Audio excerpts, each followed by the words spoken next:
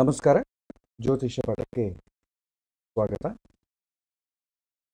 ಕಳೆದ ಬಾರಿ ಮನಃಶಾಸ್ತ್ರಕ್ಕೆ ಬಗ್ಗೆ ಸಂಬಂಧಪಟ್ಟ ವಿಚಾರಗಳನ್ನು ಸೈಕಾಲಜಿ ರಿಲೆವೆಂಟ್ ಟು ಅಸ್ಟ್ರಾಲಜಿ ಸ್ಪರ್ಶ ಮಾಡಿದೆ. ಇದು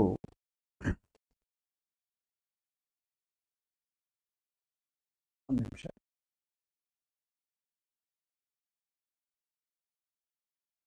ಮನಸ್ಸು, ಬುದ್ಧಿ. ಈ ಮನಸ್ಸು, ಬುದ್ಧಿಗಳು ಹೇಗೆ ಕೆಲಸ ಮಾಡುತ್ತೆ ಅಂತಂಬ ಒಂದು ನೋಡಿದ್ವಿ. ಇದು ಬಾಲ್ಯದಿಂದ ನಾವು ನೋಡಿದಾಗ ಮಲ್ಟಿಪಲ್ಸ್ ಆಫ್ ಸೆವೆನ್. ಮನುಷ್ಯನಿಗೆ ಚೇಂಜಸ್ ಕೊಡುವಂಥದ್ದು. ಮನಸ್ಸು ಅನ್ನೋದು ಮೂರನೇ ವರ್ಷದಿಂದ ಶುರು ಆಗುತ್ತೆ. ಏಳನೇ ವರ್ಷಕ್ಕೆ ಮನಸ್ಸಿನ ನಿರ್ಮಾಣ ಕಂಪ್ಲೀಟ್ ಆಗುತ್ತೆ. ಮನಸ್ಸು ಫಂಕ್ಷನಿಂಗ್ ಹೇಗಾಗುತ್ತೆ? ಮನಸ್ಸು ಏನು ಮಾಡ್ತದೆ? ಸಂಕಲ್ಪ ವಿಕಲ್ಪಗಳು ಮಾಡುತ್ತೆ ಅದನ್ನ ನೆನ್ಪಿಟ್ಕೊಳ್ಳು ಇದು ಮಾಡಬೇಕು. ಪ್ರೆಸೆಂಟ್ ಕಾನ್ಷಿಯಸ್ನೆಸ್ ಅಂತ. ಸರಿ, ಬುದ್ಧಿ ಅಂತಂಬೋದು, ಏಳನೇ ವರ್ಷದಿಂದ ಪ್ರಾರಂಭ ಆಗ್ತದೆ. ಹದಿನಾಲ್ಕನೇ ವರ್ಷಕ್ಕೆ ಪೂರ್ತಿ ಮುಗೀತದೆ, ನಿರ್ಮಾಣ ಕಂಪ್ಲೀಟ್ ಆಗ್ತದೆ ಬುದ್ಧಿ ಏನು ಮಾಡ್ತದೆ? ನಿರ್ಣಯವನ್ನು ತಗೊಳ್ತದೆ.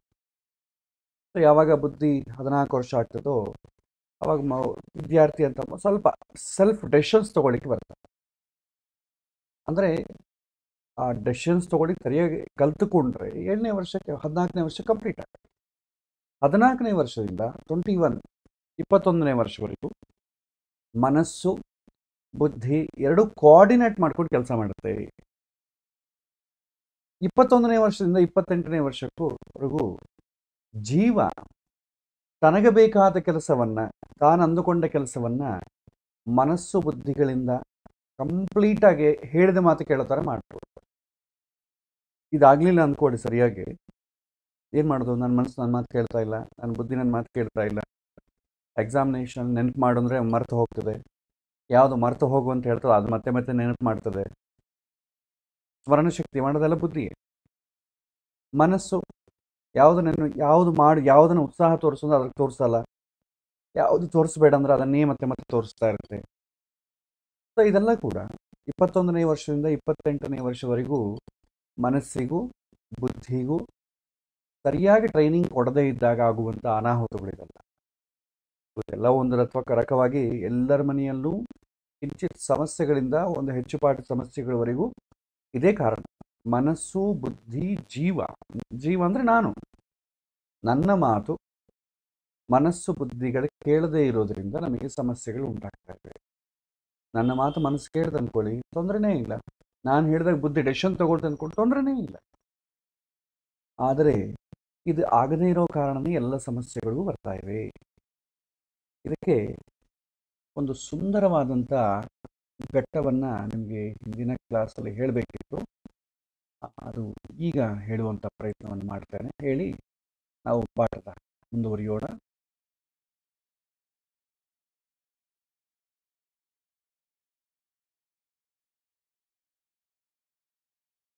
ಹನ್ನೊಂದನೇ ಪಾಠದಲ್ಲಿ ನಾವು ನೋಡಿದ್ವಿ, ಮನಸ್ಸು ಅಂದರೆ ಏನು, ಬುದ್ಧಿ ಅಂದರೆ ಏನು, ಅದೆರಡು ಹೇಗೆ ಕೆಲಸ ಮಾಡುತ್ತೆ ಅಂತಂಬುದು ನೋಡಿದ್ವಿ. ಈಗ ಒಂದು ಸಣ್ಣ ಇದು ಕೊಡ್ತೇನೆ. ಹೇಗೆ ಕೆಲಸ ಮಾಡಬೇಕು ಅಂತಂಬುದಕ್ಕೆ ಒಂದು ಎಕ್ಸಾಂಪಲ್ ಕೊಡ್ತೇನೆ.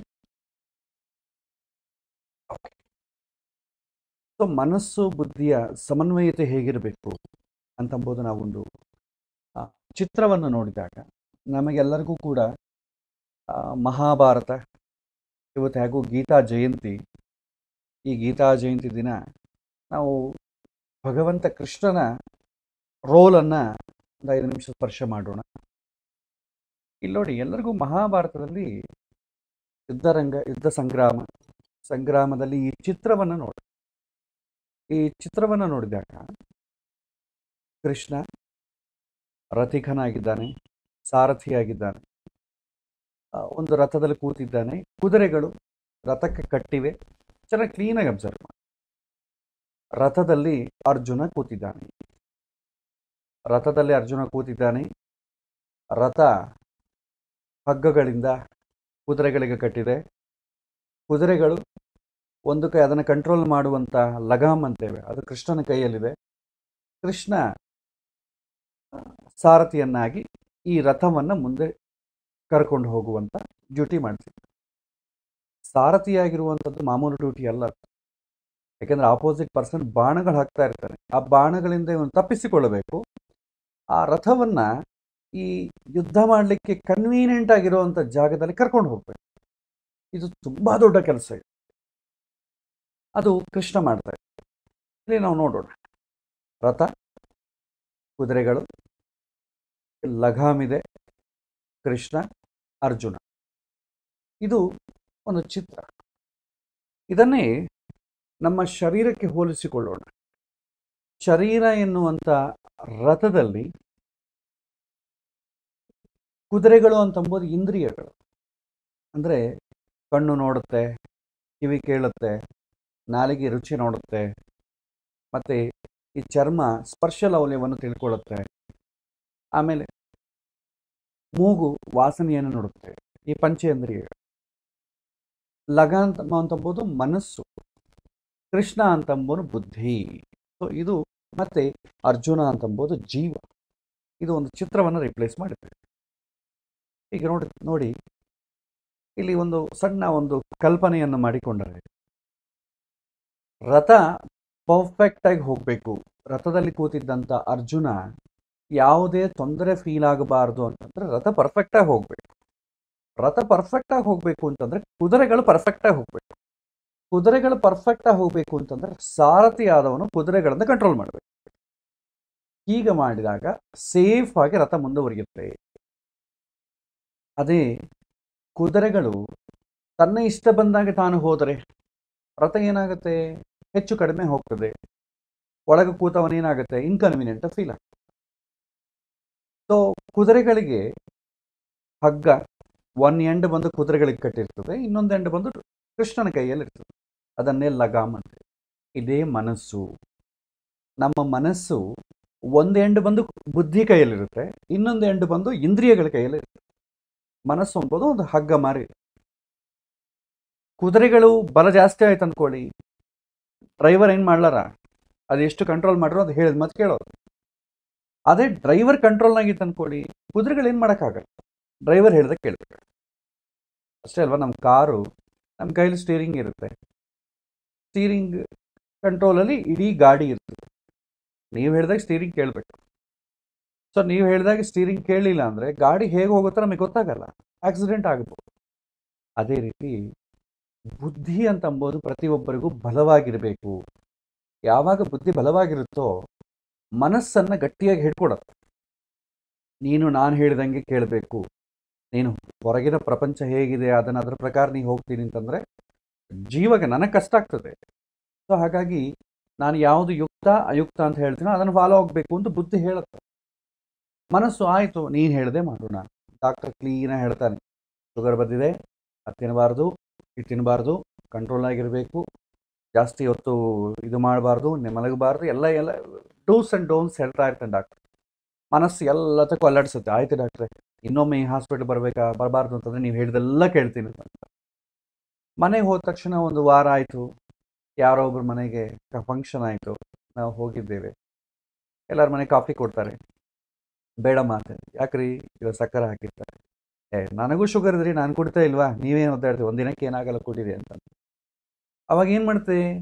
ಇವನ ನಾಲಿಗೆ ಇಂದ್ರಿಯ ಚಪಲ, ಆಯಿತು, ಒಂದ್ಸಲ ಕುಡಿದ್ಬಿಡೋಣ ಅವನೇನು ಅಂತಿಲ್ಲ ಅಂತ ಹೇಳ್ತಿದ್ದಾನಲ್ಲ, ಒಂದ್ಸಲ ಕುಡಿದ್ಬಿಡೋಣ, ಒಂದ್ಸಲ ಸ್ವೀಟ್ ತಿಂದ್ಬಿಡ ಒಂದ್ಸಲ ತಿಂದ್ರೆ ಏನಾಗ್ತದೆ ಆ ಒಂದು ಸಲ ಅಂಬೋದು ರಿಪೀಟ್ ಆಗ್ತಾನೆ ಇರುತ್ತೆ.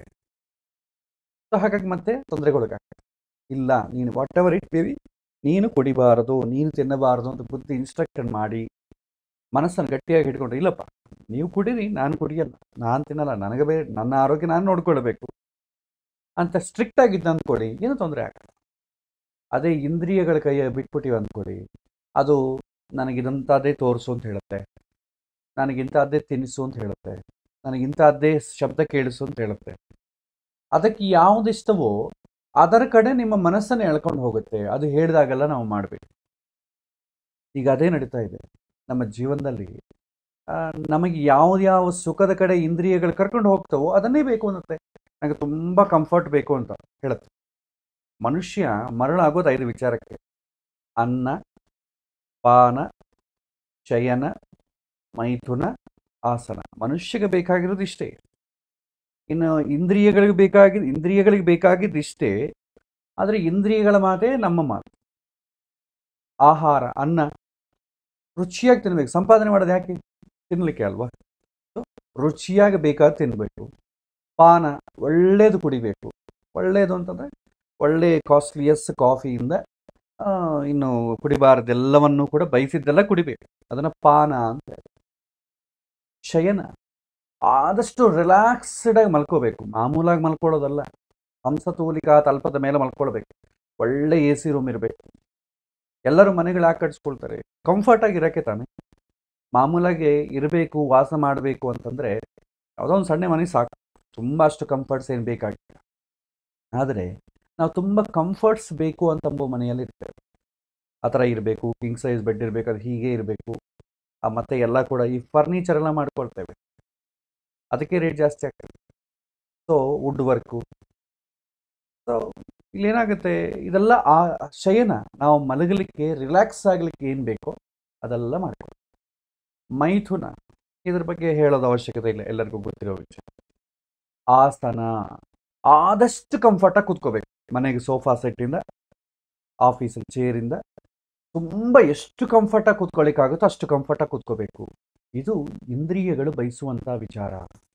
ಅನ್ನ ಶಯನ, ಮೈಥುನ, ಆಸನ. ಇದ್ರ ಬಿಟ್ಟು ಇನ್ನೇನಿಲ್ಲ ಮನುಷ್ಯರಿಗೆ. ಇನ್ನು ಯಾವುದಕ್ಕೋಸ್ಕರ ಸಂಪಾದನೆ ಮಾಡಬೇಕು? ಇಷ್ಟೇ. ಬೇರೆದಕ್ಕೋಸ್ಕರ ಅಂತಂದರೆ, ಅಷ್ಟು ಸೀರಿಯಸ್ ಯಾರು ಸಂಪಾದನೆ ಮಾಡೋಲ್ಲ. ಈ ಇಂದ್ರಿಯಗಳಿಗೆ ಕಂಫರ್ಟ್ ಕೊಡಬೇಕು ಅಂತಂದರೆ ಇಷ್ಟು ಸೀರಿಯಸ್ ಸಂಪಾದನೆ ಮಾಡ್ತೇವೆ. ಇದು ಇಂದ್ರಿಯಗಳು ಇಂಥದ್ದು ಯಾವ್ದು ಇಷ್ಟ ಅಂತಂದರೆ ನಾವು ಅದನ್ನು ಪಡಿಲಿಕ್ಕೆ ಪ್ರಯತ್ನ ಮಾಡ್ತೇವೆ. ಪಡಿಬೇಕು ಅಂತಂದ್ರೆ ದುಡ್ಡು ಬೇಕು. ಇಂದ್ರಿಯಗಳಿಗೆ ಕೋರಿಕೆ, ಬಯಕೆಗಳನ್ನು ಈಡೇರಿಸ್ಬೇಕಾದ್ರೆ ದುಡ್ಡು ಬೇಕು. ಆ ದುಡ್ಡು ಮಾಡಬೇಕಾದ್ರೆ ನಾವು ಪ್ರಯತ್ನ ಮಾಡಬೇಕು. ಸೊ ಇಂದ್ರಿಯಗಳು ಸೆಳಕಂಡು ಹೋದ ಕಡೆ ನಾವು ಹೋಗ್ತಾ ಇದ್ದೇವೆ. ನಮಗೆ ನಿಜವಾಗೂ ನಿಜವಾಗೂ ನನಗೇನು ಬೇಕು? ನನಗೆ ಎಷ್ಟು ಇದ್ರೆ ಸರಿ ಹೋಗ್ತದೆ ನನ್ನ ಜೀವನ ಮಾಡಲಿಕ್ಕೆ? ಎಷ್ಟಿದ್ರೆ ಸರಿ ಹೋಗುತ್ತೆ ಅಂತ ಅಂದ್ಕೊಂಡ್ರೆ, ಉಳಿದ ಟೈಮ್ ಬೇರೆ ಏನಾದರೂ ಒಳ್ಳೆ ಕೆಲಸ ಮಾಡ್ಬೋದು ಅಂತ. ಆಧ್ಯಾತ್ಮಿಕ ಜೀವನ ಮಾಡಬೇಕು.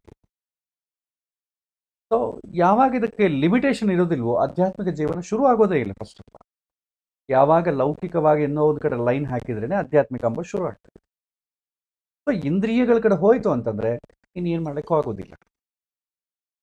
ಹಾಗಾಗಿ, ಇಂದ್ರಿಯಗಳು ಹೇಳಿದಾಗೆಲ್ಲ ನಾವು ಹೋಗ್ತಾ ಇದ್ರೆ ಜೀವ ಅಂತ ಒಳಗೊಬ್ಬನು ಕೂತಿರ್ತಾನೆ. ನಮಗೆ ಎಚ್ಚರಣೆ ಇರೋದಿಲ್ಲ. ಜೀವ ಅಂತ ಒಬ್ಬಳೆ ಒಬ್ಬನು ಒಳಗೆ ಇದ್ದಾನೆ ಅಂತಂಬೋ ಎಚ್ಚರ ಇರಲ್ಲ. ಸರ್, ಚೆನ್ನಾಗಿದೆ. ಸಂಪಾದನೆ ಬೇಕು. ಓಕೆ. ಆದರೆ ಒಳಗೆ ಯಾವುದ್ಯಾವುದಕ್ಕೂ ಖರ್ಚು ಮಾಡ್ತೇವೆ. ಒಳಗೆ ಜೀವ ಒಬ್ಬನು ಕೂತಿದ್ದಾನೆ. ಅವನಿಗೋಸ್ಕರ ಕೂಡ ನಾವು ಖರ್ಚು ಮಾಡಬೇಕಲ್ವ? ಜೀವ ಅಂತಂಬೋನು ಈ ಜನ್ಮದಲ್ಲಿ ತುಂಬಾ ಹಣವಂತ, ಶ್ರೀಮಂತನಾಗಿದ್ದಾನೆ.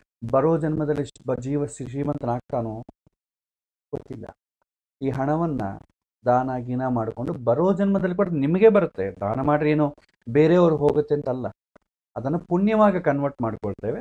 ಬರೋ ಜನ್ಮದಲ್ಲಿ ಹುಟ್ಟಿದಾಗ ಮತ್ತೆ ಆ ಪುಣ್ಯ ನಿಮಗೆ ಹಣವಾಗಿ ಕನ್ವರ್ಟ್ ಆಗ್ತದೆ. ಜೀವದ ಬಗ್ಗೆ ನಾವು ಆಲೋಚನೆ ಮಾಡಬೇಕು. ಇಲ್ಲಿ ನಮ್ಮ ಬುದ್ಧಿ ಪರ್ಫೆಕ್ಟ್ ಆಗಿ ಕೆಲಸ ಮಾಡಿದರೆ, ಮನಸ್ಸನ್ನ ಇಂದ್ರಿಯಗಳ ಕಡೆ ಕಳಿಸದೆ, ನಾವು ಹೇಳಿದ್ದನ್ನು ಗಟ್ಟಿಯಾಗಿ ಹಿಡ್ಕೊಳತ್ತೆ. ಹಾಗೆ ಹಿಡ್ಕೊಂಡ್ರೆ ನೀವು ಹೇಗೆ ಹೋಗಬೇಕು ಅಂತ ಒಂದು ರೂಟ್ ಮ್ಯಾಪ್ ಬುದ್ಧಿ ಕೊಡುತ್ತೋ ಆ ರೀತಿಯಲ್ಲೇ ಹೋಗುತ್ತೆ. ಆವಾಗ ರಥ ಸೇಫ್ ಆಗಿರುತ್ತೆ. ರಥದಲ್ಲಿ ಕೂತಂತ ಜೀವ ಕೂಡ ಸೇಫ್ ಆಗಿರುತ್ತೆ. ನಮ್ಮ ಬುದ್ಧಿ ಉಪಯೋಗ ಮಾಡಿ ಅನ್ನ, ಪಾನ, ಶಯನ, ಮೈಥುನ, ಆಸನ ಇದನ್ನು ಯಾರೂ ಪಡಿಬಾರ್ದು ಅಂತಲ್ಲ. ದೇರ್ ಇಸ್ ಸಮ್ ಲಿಮಿಟ್ಸ್ ಇದೆ. ಅನ್ನ ಎಷ್ಟು ತಿನ್ನಬೇಕು ಎಷ್ಟು ಕುಡಿಬೇಕು, ಎಷ್ಟು ನಿದ್ದೆ ಹೊತ್ತು ನಿದ್ದೆ ಮಾಡಬೇಕು. ಮೈಥುನಕ್ಕೆ ಲಿಮಿಟೇಷನ್ ಏನು? ಆಸನಕ್ಕೆ ಲಿಮಿಟೇಷನ್ ಏನು? ಇದು ಗೊತ್ತಿದ್ದರೆ ಅಸಲು ನಿಮಗೆ ಇಂದ್ರಿಯಗಳಲ್ಲಿ ಡಿಸ್ಟರ್ಬ್ ಆಗಲ್ಲ. ಶರೀರ ಅಂತಂಬೋದು ರೋಗಗ್ರಸ್ತವಾಗುವುದಿಲ್ಲ. ಇಂದ್ರಿಯಗಳು ಹೇಳ್ದಂಗೆಲ್ಲ ಕೇಳಿದ್ರೆ ಎಲ್ಲ ರೋಗಗಳು ಶರೀರಕ್ಕೆ ಬರುತ್ತೆ. ಅತಿಯಾಗಿ ಎಲ್ಲ ಸೇವನೆ ಮಾಡಿದರೆ ಅತಿಯಾಗಿ ರೋಗಗಳು ಬರುತ್ತೆ. ಸೊ ಹಾಗಾಗಿ ಬುದ್ಧಿ ಅಂತಂಬೋದು ಗಟ್ಟಿಯಾಗಿರಬೇಕು. ಆ ಬುದ್ಧಿಯ ಹೇಳಿದ ಮಾತು ಮನಸ್ಸು ಕೇಳಬೇಕು. ಆ ಮನಸ್ಸು ಹೇಳಿದ ಮಾತು ಕುದುರೆಗಳು ಕೇಳಬೇಕು, ಇಂದ್ರಿಯಗಳು ಕೇಳಬೇಕು. ಇದು ಈ ಒಂದು ಭಗವದ್ಗೀತಾ ಚಿತ್ರದಿಂದ ನಾವು ತಿಳ್ಕೊಳ್ಬೇಕಾದಂಥ ವಿಷಯ ಕೃಷ್ಣ ಹೇಳಿದ ಹಾಗೆ ಲಗಾಮ್ ಕೇಳಿದರೆ, ಕೃಷ್ಣ ಆ ಹಗ್ಗವನ್ನು ಗಟ್ಟಿಯಾಗಿ ಕಂಟ್ರೋಲ್ ಮಾಡಿದರೆ, ಕುದುರೆಗಳು ಯಾವ ಡೈರೆಕ್ಷನ್ ಹೋಗ್ಬೇಕಾದ್ರೂ ಹೋಗ್ತದೆ. ಸ್ಟಾಪ್ ಅಂದಾಗ ಸ್ಟಾಪ್ ಆಗ್ತದೆ. ಅದೇ ಕೃಷ್ಣನಿಗೆ ಅದನ್ನು ಕಂಟ್ರೋಲ್ ಮಾಡ್ಲಿಕ್ಕೆ ಆಗೋದಿಲ್ಲ. ಈಗ ಹೊಸದಾಗಿ ಯಾರಾದ್ರೂ ಕುದುರೆಯನ್ನು ಕಲಿತಾ ಇದ್ದಾನೆ ಕೊಡಿ ಅದು ಕಂಟ್ರೋಲ್ ಮಾಡ್ಲಿಕ್ಕೆ ಆಗೋದಿಲ್ಲ. ಎಕ್ಸ್ಪರ್ಟಿಗೆ ಗೊತ್ತಾಗ್ತದೆ. ಹೊಸ್ತವನಿಗೆ ಗೊತ್ತಾಗೋದಿಲ್ಲ. ಅದು ಕಾರ್ ಕೂಡ ಅಷ್ಟೇ. ಹೊಸ್ತವನಿಗೆ ಆ ಸ್ಟೀರಿಂಗ್ ಅಲೈನ್ಮೆಂಟು ಎಷ್ಟು ತಿರುಗಿಸ್ಬೇಕು ಅಂತ ಗೊತ್ತಾಗೋದಿಲ್ಲ. ಜಾಸ್ತಿ ತಿರುಗಿಸ್ಬಿಡ್ತಾನೆ. ಅದು ನಾವು ಹೇಳಿದ ಮಾತು ಕೇಳೋದಿಲ್ಲ ಕಾರ್. ಅದನ್ನು ಹಾಗೆ ಅಭ್ಯಾಸ ಮಾಡಿ ಮಾಡಿ ಕಾರ್ ನಾವು ಹೇಳ್ದಂಗೆ ಕೇಳೋಂಗೆ ಮಾಡ್ಕೊಳ್ತೇವೆ ನಾವು. ನಾವು ಹೇಳ್ದಂಗೆ ಕಾರ್ ಕೇಳಿದ್ರೆ ಓಕೆ. ನಾವು ಹೇಳ್ದಾಗ ಕೇಳಲಿಲ್ಲ ಅಂತಂದ್ರೆ ಡಿವೈಡರಿಗೆ ಹೊಡ್ಕೊಂಡು ಆಕ್ಸಿಡೆಂಟ್ ಆಗುತ್ತೆ. ಯಾರೂ ಉಳಿಯೋದಿಲ್ಲ. ಇಲ್ಲಿ ಅದೇ ವಿಷಯ. ಎಕ್ಸ್ಪರ್ಟೈಸ್ ಸೊ ಬುದ್ಧಿಬಲ ಇರಬೇಕು. ಬುದ್ಧಿಬಲ ಚೆನ್ನಾಗಿರಬೇಕು ಅಂತಂದ್ರೆ ಯಾವುದು ಮಾಡಬೇಕು, ಯಾವುದು ಮಾಡಬಾರದು ಅಂತಂಬೋದು ಬುದ್ಧಿ ನಿಮಗೆ ಎಚ್ಚರ ಕೊಡಬೇಕು. ಎಚ್ಚರ ಕೊಡಬೇಕು ಅಂತಂದ್ರೆ ಆ ವಿಷಯಗಳು ಆಲ್ರೆಡಿ ನಾವು ಫೀಡ್ ಮಾಡಿರಬೇಕು. ಫೀಡ್ ಮಾಡಿರಬೇಕು ಅಂದ್ರೆ ಶಾಸ್ತ್ರವನ್ನ ಓದಬೇಕು. ಈ ಬುದ್ಧಿ ಅಂತಂಬೋದು ಶಾಸ್ತ್ರದ ಒಂದು ಚೌಕಟ್ಟಿನಲ್ಲಿ ಬೌಂಡ್ರಿಯಲ್ಲಿ ಕೆಲಸ ಮಾಡಿದರೆ ಅದು ಜೀವನನ್ನ ಸೇಫ್ ಆಗಿ ಕರ್ಕೊಂಡು ಹೋಗುತ್ತೆ. ಇಲ್ಲದ್ರೆ ಇಂದ್ರಿಯಗಳು ಏನ್ ಮಾಡ್ತೀವಿ? ಜೀವವನ್ನು ಉಪಯೋಗಿಸಿಕೊಂಡು ತನಗೆ ಬೇಕಾದ ಸುಖವನ್ನು ತಾನು ಪಡೆಯುತ್ತೆ. ಇಲ್ಲಿ ಇದು ತುಂಬಾ ಪ್ರಧಾನ. ಪ್ರತಿಯೊಬ್ಬರು ಸಮಸ್ಯೆಗಳಿಂದ ಬರ್ತಾರಲ್ವ? ಇಂದ್ರಿಯಗಳ ಹೊಡೆತಕ್ಕೆ ಒಳಗಾದವರೇ ಬರ್ತಾರೆ. ಯಾಕೆಂದ್ರೆ ವಿದ್ಯಾ, ಉದ್ಯೋಗ, ವಿವಾಹ, ಸಂತಾನ ಇದ್ರ ಬಗ್ಗೆ ಎಲ್ಲರೂ ಪ್ರಶ್ನೆ ಕೇಳ್ತಾರೆ. Main questions ನಾಲ್ಕೆ. ವಿದ್ಯಾ, ಉದ್ಯೋಗ, ವಿವಾಹ, ಸಂತಾನ. ಇದು ಚೆನ್ನಾಗಿತ್ತು ಅಂದ್ಕೊಳ್ಳಿ ಯಾರು ಜ್ಯೋತಿಷ್ಯಂತ್ರಿಗೆ ಬರಲ್ಲ ದೇವಸ್ಥಾನಕ್ಕೆ ಯಾರು ಹೋಗಲ್ಲ. ಇದು ಚೆನ್ನಾಗಿಲ್ಲ ಅಂದ್ಕೊಳ್ಳಿ ಚೆನ್ನಾಗಿಲ್ಲ ಅಂತಂದ್ರೆ ನನ್ನ ಉದ್ದೇಶ ಅಂದ್ರೆ ಬೇಕಾದಷ್ಟಕ್ಕಿಂತಲೂ ಕಡಿಮೆ ಇರೋದು, ಬಯಸಿದಷ್ಟು ಇಲ್ಲದೆ ಇರೋದು. ಇದೆರಡೂ ಕೂಡ ಸಮಸ್ಯೆಗಳೇ. ಫಿನಾನ್ಷಿಯಲ್ ಪ್ರಾಬ್ಲಮ್ ಅಂದ್ರೆ ಎರಡು ತರ ಇರುತ್ತೆ. ಒಂದು ದುಡ್ಡಿಲ್ಲದೆ ಇರೋದು ಕೂಡ ಫೈನಾನ್ಷಿಯಲ್ ಪ್ರಾಬ್ಲಮ್ ದುಡ್ಡು ಇನ್ನ ಬೇಕು ಅಂತ ಬಯಸೋದು ಕೂಡ ಫಿನಾನ್ಷಿಯಲ್ ಪ್ರಾಬ್ಲಮಿಗೆ ಕಾರಣ ಆಗ್ತದೆ. ಈಗ ಮುಖೇಶ್ ಅಂಬಾನಿ ಇದ್ದಾನೆ. ನಮ್ ಕೂಡ ಕಂಪೇರ್ ಮಾಡ್ರೆ ಶ್ರೀಮಂತ ಅಲ್ವಾ? ಆದ್ರೆ ಇನ್ನು ಶ್ರೀಮಂತ ಆಗೋ ಇದನ್ನು ಹಿಂಗೆ ಹಾ ಅಂತ ರಿಲ್ಯಾಕ್ಸ್ ಆಗಿರ್ಬೋದಲ್ಲ. ಇನ್ನ ಯಾಕೆ ಪರದಾಟ? ಅವನಿಗೆ ಇನ್ನ ಬೇಕು ಅಂತ ಬೋ ಅದು ಅವನಿಗೂ ಫೈನಾನ್ಷಿಯಲ್ ಪ್ರಾಬ್ಲಮ್ ಇದೆ. ಸೊ ಫಿನಾನ್ಷಿಯಲ್ ಪ್ರಾಬ್ಲಮ್ ಎಲ್ಲರಿಗೂ ಇರುತ್ತೆ. ದುಡ್ಡಿದ್ದವನಿಗೂ ಇರುತ್ತೆ, ದುಡ್ಡಿಲ್ಲದವನಿಗೆ ಇರುತ್ತೆ. ದುಡ್ಡಿಲ್ಲದವನಿಗೆ ಸ್ವಲ್ಪ ಜಾಸ್ತಿ ಇರುತ್ತೆ. ಯಾಕೆಂದರೆ ದುಡ್ಡಿದ್ದ, ದುಡ್ಡಿಲ್ಲದವನಿಗೆ ಫಿನಾನ್ಷಿಯಲ್ ಪ್ರಾಬ್ಲಮ್ ಇದ್ರೂ ಸ್ವಲ್ಪ ಸುಖ ಇರುತ್ತೆ. ದುಡ್ಡು ಇದ್ದವನಿಗೆ ಫಿನಾನ್ಷಿಯಲ್ ಪ್ರಾಬ್ಲಮ್ ಜೊತೆ ಸುಖ ಕೂಡ ಇರೋದಿಲ್ಲ. ಇದು ಪ, ಹಾರಾಟ. ಇನ್ನ ಬೇಕು ಇನ್ನ ಬೇಕು ಅಂತ ಸುಖವನ್ನು ತ್ಯಾಗ ಮಾಡಿ ಹಾರಾಡ್ತಾ ಇರ್ತಾರೆ. ಈ ರೀತಿ ಸಮಸ್ಯೆಗಳನ್ನು ಅರ್ಥ ಮಾಡಿಕೊಳ್ಳಬೇಕು ಸೊ ಯಾರು ಈ ಸಮಸ್ಯೆ, ವಿದ್ಯಾ, ಉದ್ಯೋಗ, ವಿವಾಹ, ಸಂತಾನ ಈ ವಿಚಾರಗಳಿಗೆ ನಮ್ಮ ಹತ್ರ ಬಂದಾಗ ನಾವು ಒಂದು ಪಾಯಿಂಟ್ ಅವನಿಗೆ ರೆಮಿಡಿ ಅಂತ ಹೇಳಬೇಕಾದ್ರೆ ನಾವು ಈ ಚಿತ್ರವನ್ನು ನೆನ್ಪಿಟ್ಕೊಳ್ಬೇಕು. ಅಂದ್ರೆ ಇವನು ಕೇಳ್ತಾ ಇರೋದು ಬೇಸಿಕ್ ನೀಡ ಅಥವಾ beyond the basic need, luxurious item. Basic need ಆಯ್ತು ಅನ್ಕೊಳ್ಳಿ ಪ್ರಾಬ್ಲಮ್ ಜಾತಕದಲ್ಲಿ ನೋಡ್ತೇವೆ. ಬಿಯಾಂಡ್ ದ ಬೇಸಿಕ್ ನೀಡ್ ಆಯ್ತು ಅಂದ್ಕೊಳ್ಳಿ, ಅವಾಗ ಏನಾಗುತ್ತೆ, ಅವನ ಮನಸ್ಸಿನಲ್ಲಿ ಏನೋ ತೊಂದರೆ ಇದೆ, ಮನಸ್ಸು ಬುದ್ಧಿ ಹೇಳಿದ ಮಾತು ಕೇಳ್ತಾ ಇಲ್ಲ. ಮನುಷ್ಯನಾಗಿ ಹುಟ್ಟಿ ಪ್ರತಿಯೊಬ್ಬರ ಗೋಲ್ ಏನು? ಮೋಕ್ಷವನ್ನು ಪಡೆಯೋದೇ ಅಲ್ವಾ? ಮನುಷ್ಯ ಹುಟ್ಟಿದ ಅದಕ್ಕೋಸ್ಕರ ಅಲ್ವಾ? ಆದರೆ, ಮೋಕ್ಷವನ್ನು ಪಡೆಯೋದು ಬಿಟ್ಟು ಲೌಕಿಕ ಪ್ರಪಂಚದಲ್ಲಿ ಇನ್ನೂ ಸಂಪಾದನೆ ಇನ್ನೂ ಸಂಪಾದನೆ, ಇನ್ನೂ ಸುಖ, ಇನ್ನೂ ಒಳ್ಳೇದು, ನನಗೆ ಅಧಿಕಾರ ಬೇಕು ಅಂತ ಯಾಕೆ ಪರದಾಡ್ತಾನೆ? ಇಂದ್ರಿಯಗಳು ಮನಸ್ಸನ್ನ ವಶಪಡಿಸಿಕೊಂಡಿದೆ. ಬುದ್ಧಿಯ ಮಾತು ಕೇಳ್ತಾ ಇಲ್ಲ. ಬುದ್ಧಿ ಮಾತು ಕೇಳಿದ್ರೆ ಕೂಡ ಬುದ್ಧಿಗೆ ಶಾಸ್ತ್ರ ಶ್ರದ್ಧೆ ಇಲ್ಲ ಅಂತ ಆಗ್ತದೆ. ರೆಮಿಡಿಯನ್ನು ಕೊಡಬೇಕಾದ್ರೆ ಅವನು ಏನೋ ಒಂದು ಇಲ್ಲರಿ ನನಗೆ ಸ್ವಲ್ಪ ತುಂಬ ನಾನೊಂದು ದೊಡ್ಡ ಕಾರ್ಯಕ್ಕೆ ಕೈ ಹಾಕಿದ್ದೇನೆ. ಅದು ಈಡೇರುವಂಗೆ ನನಗೆ ಏನಾದರೂ ಪೂಜೆ ಮಾಡಿ. ನಮಗೇನಿದೆ ನಾವು ಹೇಳ್ತೇವೆ. ಏನು ಚಿಂತೆ ಮಾಡಬೇಡ. ಒಂದು ಪವಮಾನ ಹೋಮ ಮಾಡು, ಸುದರ್ಶನ ಹೋಮ ಮಾಡು, ನಿಂಗೆಲ್ಲ ಬರುತ್ತೆ ಅಂತ ಹೇಳ್ಬಿಡ್ತೇವೆ. ಆದ್ರೆ ಕೊಡೋನ್ ನಾವಲ್ಲ, ಕೊಡೋನು ಭಗವಂತ. ಆ ಕೊಡೋನು ಭಗವಂತ, ಆತ ಆಲೋಚನೆ ಮಾಡ್ತಾನೆ ಅಲ್ವೋ? ಇವನಿಗೆ ಇದು ಕೊಟ್ರೆ ಒಳ್ಳೇದಾಗತ್ತೋ, ಹಾಳಾಗತ್ತೋ?